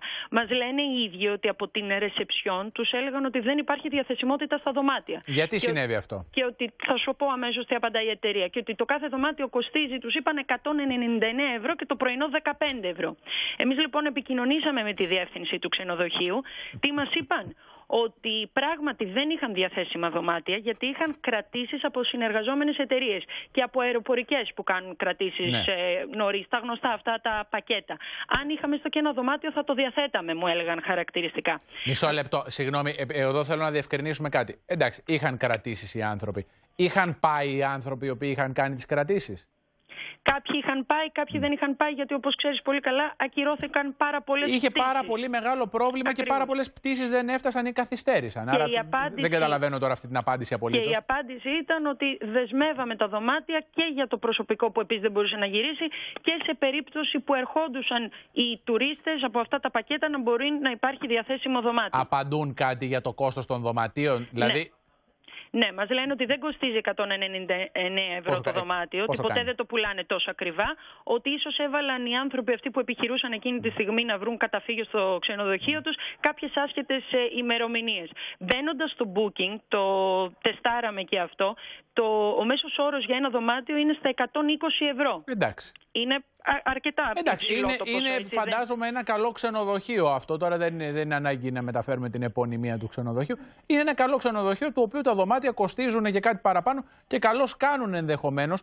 Αλλά ήταν εδώ ήταν, ήταν σαφέ. Νομίζω ότι Συγγνώμη, σε αυτού τους ανθρώπους άξιζε ένα δωρεάν δωμάτιο εκείνη τη στιγμή. Αυτό ακριβώς ήθελα να πω ότι εδώ δεν ήταν ζήτημα προτίμησης. Δεν ήταν ότι μεταξύ των πέντε ξενοδοχείων της Ανατολικής Αττικής οι 100 άνθρωποι αυτοί διάλεξαν το συγκεκριμένο ξενοδοχείο γιατί τους άρεσε καλύτερα και το πρωινό ήταν καλύτερο. Δεν είχαν που αλλού να πάνε οι άνθρωποι, διότι ξέμειναν στη μέση της Αττικής Οδού, επειδή ο παραχωρησιούχος δεν μπόρεσε να πάει και να, να κάνει αυτά τα οποία προβλέπουν οι συμβάσεις του. Κανένας άλλος άνθρωπος δεν πήγε, αν δεν πήγε ο στρατός και η ΕΚΑΜ να δώσουν νερό και ε, ένα σάντουιτ ή ξηρά τροφής στους ανθρώπους. Αναζήτησαν οι άνθρωποι καταφύγιο σε αυτά τα ξενοδοχεία. Και ήταν το Δεν ήταν ζήτημα επιλογής, δεν ήταν ζήτημα προτίμησης να πάνε εκεί, στο ένα ή στο άλλο ή στο τρίτο ξενοδοχείο. Τι απάντηση είναι αυτή τώρα; Και ήταν το πλησιέστερο στο αεροδρόμιο και στην Αττική Οδό, στο σημείο που είχαν εγκλωβιστεί. Μας απάντησαν και για την τιμή του πρωινού. Πράγματι, λέει, κοστίζει 15 ευρώ, αλλά σήμερα τους το διαθέσαμε εκτάκτως δωρεάν. Ευτυχώς διέθεσαν δηλαδή το πρωινό τους δωρεάν σε ανθρώπους που πλήρωσαν τα δωμάτια τους. Είναι ενδιαφέρον και αυτό. Να πούμε βεβαίως, Κατερίνα, ότι στις εικόνες που παρακολουθούμε, παρακολουθούμε και ανθρώπους οι οποίοι ε, το άκουσα και σε πρωινά ρεπορτάζ την έκτακτη εκπομπή με τον ε, Σπύρο Λάμπρου, οι οποίοι μη έχοντας τι να κάνουν, πήγαν και κοιμήθηκαν στο αεροδρόμιο.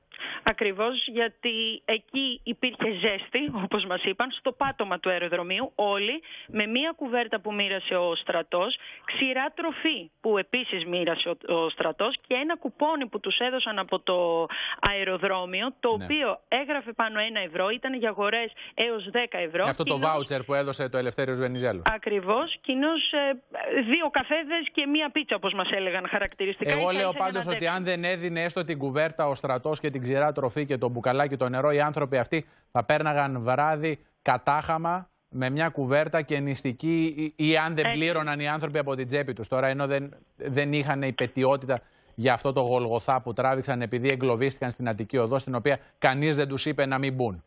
Έτσι είναι, έτσι είναι ακριβώς. Ένα 24ωρο έκλεισαν εκτός ε, σπιτιού μεταξύ Αττικής Οδού, αεροδρομίου και του ξενοδοχείου της Κάτζας μήπως και καταφέρουν να βρουν Ναι. Να ένα ρωτήσω δωμάτιο. κάτι, Κατερίνα, τώρα ευκαιρίας δοθήσεις από αυτή την ε, κουβέντα που κάνουμε και τις απάντηση που σου έδωσε η διεύθυνση του ξενοδοχείου αυτού, Πέριξ της Αττικής Οδού. Ε, πόσοι άνθρωποι μείναν στο ξενοδοχείο, είπανε, α, απάντησαν; 100 άτομα προσπάθησαν να στριμωχτούν στην καφετέρια και στο λόμπι του ξενοδοχείου, Γιώργο. 100 άτομα, άρα 100 άτομα πλήρωσαν για αυτό το δωμάτιο. Δεν πλήρωσαν, Δεν δεν, πλήρωσαν. κατάφεραν να βρουν δωμάτιο. Προσπάθησαν να στριμωχτούν στο λόμπι και την, ε, ε, και την καφετέρια του ξενοδοχείου, όπως βλέπετε και στις εικόνες Οι εικόνες που είπαμε που δεν περιποιούν τιμή σε κανέναν και έχω την αίσθηση ε, ότι δεν περιποιούν τιμή ιδιαίτερα και αυτές οι εξηγήσεις που δόθηκαν τώρα για τις κρατήσεις και τα δωμάτια τα οποία ήταν άδεια στην πραγματικότητα λόγω των ακυρώσεων των ε, πτήσεων. Εντάξει, κάτι πρέπει να πούν τώρα και οι άνθρωποι. Μετά, μετά την ε, απομάκρυνση από το Ταμείο, δεν λάθος αναγνωρίζεται, είναι γνωστό αυτό σε αυτή τη χώρα. Κατερίνα, ευχαριστώ πάρα πολύ. Πάμε και πάλι στον Άρη Λάμπο, στην Αττική Οδό, διότι ώρα την ώρα όσο μιλάμε η χιονόπτωση πυκνώνει. Ε, επιχειρείς να περάσει το αντίθετο ρεύμα από ό,τι αντιλαμβάνομαι τώρα, Άρη, για να δούμε την έκταση του προβλήματος. Ακριβώς, Γιώργο, προσπαθούμε να περάσουμε στο αντίθετο ρεύμα για να δούμε τα αυτοκίνητα τα οποία είναι εγκλωβισμένα από ό,τι φαίνεται στο ρεύμα προς Ελευσίνα.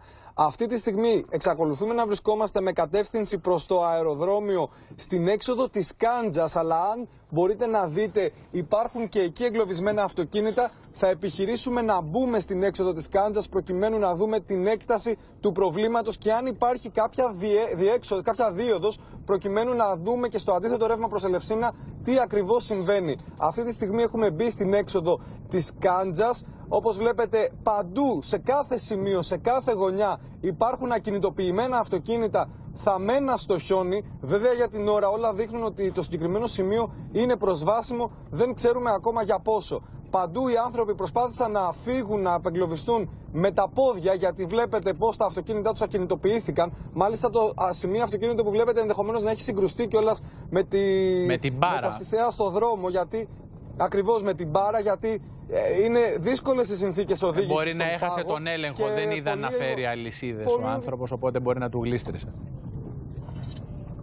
Ακριβώς, Γιώργο, για την ώρα φαίνεται ότι αυτό το σημείο είναι προσβάσιμο και συνεχίζουμε ώστε να δούμε. μέχρι Άρη, πού μπορεί συνεχίζετε κάποιος οδηγός εσεί να φτάσει. τον, Είναι το πάρα πολύ ρεπορτάζ δύσκολες με τον ε, Γιάννη τον Κουμπανάκη, τον οπερατέρ του Σταρ. Καταγράφετε εικόνες που δεν τις είχαμε δει μέχρι σήμερα. Μας βοηθούν να καταλάβουμε την έκταση του προβλήματος. Ευχαριστώ πάρα πολύ, Άρη. Τώρα το χάος στην Αττική έγινε κεντρικό θέμα στα μεγαλύτερα ειδησιογραφικά πρακτορ- πρακτορία και δίκτυα του κόσμου. Με εικόνες από την Αθήνα μεταδίδουν λεπτό προς λεπτό το πανδαιμόνιο της χιονοθύελας που παρέλυσε την πρωτεύουσα της χώρας.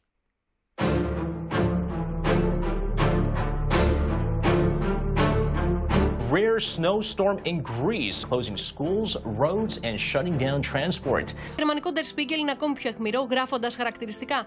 Το χάος στους αυτοκινητόδρομους τη χώρας ξεκίνησε από το πρωί της Δευτέρας, καθώς ελλειπώ εξοπλισμένα οχήματα χωρίς χειμερινά λάστιχα και αλυσίδες δεν μπορούσαν να προχωρήσουν και έκλειναν τον δρόμο στα εκχιονιστικά μηχανήματα. According to the Greeks, last time this amount of snow fell on the cyclades was decades ago.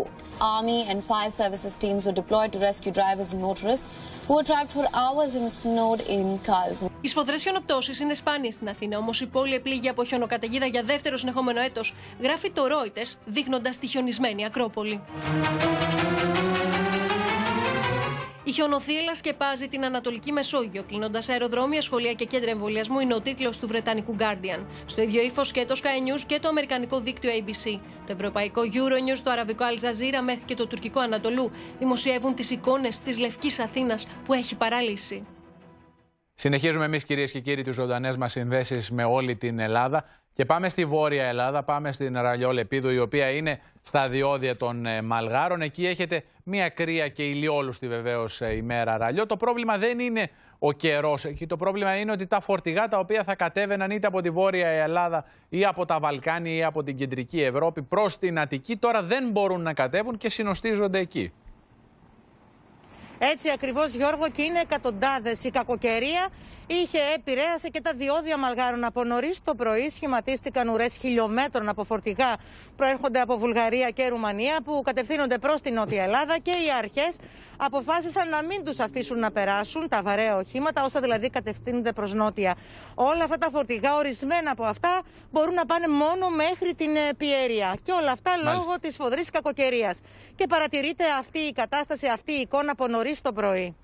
Ραλιό, να σε ευχαριστήσω πολύ. Είναι ένα από τα παρατράγουδα του, της ε, Ελπίδας. Ε, τώρα, πάμε και πάλι σε μια τηλεθεάτρια του Σταρ. Είναι η κυρία Σιμίνα από το Χαλάνδρη. Πριν από λίγο ήμασταν σε σύνδεση με το Χαλάνδρη και καταγράφαμε τα εκτεταμένα προβλήματα ηλεκτροδότησης στην περιοχή. Καλό μεσημέρι, κυρία Σιμίνα. Καλή, καλό σας μεσημέρι. Ε, πού ακριβώς είστε, πόση ώρα δεν έχετε ρεύμα; λοιπόν, είμαστε προφή του Ηλία δίπλα στο θέατρο Ρεματιάς. Δεν έχουμε ε, ρεύμα 25 ώρες. Α, έχετε κλείσει μέρα εσείς χωρίς ρεύμα; Α, ναι, εμείς είμαστε προνομιούχοι. Έχουμε κλείσει μέρα, ναι, 25 ώρες χωρίς ρεύμα. Πήραμε άπειρα τηλέφωνα, άπειρα τηλέφωνα. Κάποιος βέβαια χθες μας είπε και το, και το ωραίο ότι να πάτε να βρείτε σπίτια που έχουν θέρμανση να κοιμηθείτε. Ποιος σας το είπε αυτό; Από τη ΔΕΔΙΕ, από τη ΔΕΗ. Μισό, μισό λεπτό, μισό λεπτό. Μισό λεπτό. Σας είπε, σας είπε υπάλληλος του ΔΔΕ να πάτε να βρείτε σπίτι που έχουν ναι, θέρμανση; Ναι, σπίτια που να έχουν θέρμανση να κοιμηθείτε, να φιλοξενηθείτε. Σας το είπε χτες, φαντάζομαι πριν το βράδυ που ήταν η πρόγνωση ότι θα έχουμε ισχυρά καιρικά φαινόμενα. Πρέπει να ήταν γύρω στις 10.30 το βράδυ. Αυτό το καταγράφω ως καταγγελία, διότι αντιλαμβάνομαι την πίεση που υφίστανται οι άνθρωποι και στο τηλεφωνικό κέντρο του ΔΔΕ που έχουν να μιλήσουν με όλο το λεκανοπέδιο που υπάρχει πρόβλημα. Αλλά τώρα δεν νοείται να λες τέτοιο πράγμα. Ναι, να βρούμε σπίτια να μας φιλοξενήσουν για να έχουμε ζέστη, να έχουμε θέρμανση. Ε, πείτε μου κάτι ακόμα. Σας έδωσαν στις επικοινωνίες που κάνατε με τον ΔΔΕ ή με όποιον άλλον μία εκτίμηση, μία τάξη μεγέθους όχι, όχι, όχι, όχι, να σας πω. Χθες ήταν αυτό. Τη νύχτα βέβαια δεν πήρα. Σήμερα λοιπόν ξεκινήσαμε από το πρωί μου είπανε ότι έχουν βρεθεί οι βλάβες, περιμένουμε να μας ειδοποιήσουν σε ποιο σημείο είναι οι βλάβες και θα σας ενημερώσουμε σε πόση ώρα θα έχετε ρεύμα. Αυτό ξεκίνησε από το πρωί. Μάλιστα. Τελευταίο τηλεφώνημα ήταν πριν από μισή ώρα περίπου. Δεν έχουν, ξέρουμε που είναι, δεν έχουμε ενημέρωση, δεν ξέρουμε πού βρίσκονται οι βλάβες και δεν ξέρουμε πότε θα, θα έχετε ρεύμα. Είναι πραγματικά μια εξαιρετικά Και πηγαίνουμε για το δεύτερο 24ωρο. Έχουμε μπει Εσείς έχετε μπει στο δεύτερο 24ωρο. Αυτό η αλήθεια είναι ναι. ότι δεν το είχα ακούσει μέχρι στιγμής. Λοιπόν. Ε, είναι ένα ε, εξαιρετικό, εξαιρετικά μεγάλο πρόβλημα. Με, με μεγάλους ανθρώπους υπερήλικες. Η κόρη μου έγκυος 8 μηνών. Με μωρά. Λοιπόν, είναι μέσα στο σπίτι η κόρη σας έγκυος 8 μηνών; Ναι, ναι, 8 μηνών. Λοιπόν. Τι, τι να πω. Δηλαδή δεν ξέρω τι να πω. Δεν ξέρω τι να πω. Δεν ξέρω. Ελπίζω, κυρία Σιμίνα, ότι πολύ σύντομα αυτή η περιπέτεια θα τελειώσει και τουλάχιστον θα ζεσταθείτε λίγο, γιατί τώρα δεν μπορώ να φανταστώ ότι 25 ώρες... Όλοι ζούμε με την ελπίδα, όχι αυτή που ήρθε με το χιόνι, με την ελπίδα ότι όλα θα ναι. πάνε καλά. Γιατί δεν μπορούμε να κάνουμε και κάτι άλλο. Σας, ευ σας ευχαριστώ πάρα πολύ και κυρία Ελπίδα. Καλό κουράγιο να είστε καλά. καλά γεια. Κυρίες και κύριοι, να κάνουμε ένα σύντομο διαφημιστικό διάλειμμα σε αυτό το σημείο και σε λίγο θα είμαστε και πάλι μαζί σας. σε μια είδη της τελευταίας στιγμής, κυρίες και κύριοι. Πριν από λίγη ώρα άνοιξε και πάλι η Εθνική Οδός Αθηνών ε, Λαμίας για τα φορτηγά άνω των 3,5 ε, τόνων. Γίνεται άρα κανονικά η κίνησή τους και με αυτό σας αποχαιρετούμε. Το εκτεταμένο εκτάκτος με σημερινό δελτίο ειδήσεων του Star ολοκληρώθηκε. Ακολουθεί αμέσως μετά το Shopping Star και βεβαίως επειδή το Star έχει τροποποιήσει το πρόγραμμά του δίνουμε ραντεβού περίπου στις 6 παρα 20 με όλα τα νεότερα από την κακοκαιρία ελπίδα και βεβαίως όλες οι εξελίξεις αναλυτικά στο κεντρικό δελτίο ειδήσεων του Star στις 8 παρα 10 με την Μάρα Ζαχαρέα. Από όλους εμάς κυρίες και κύριοι προς ώρας, καλώς απόγευμα.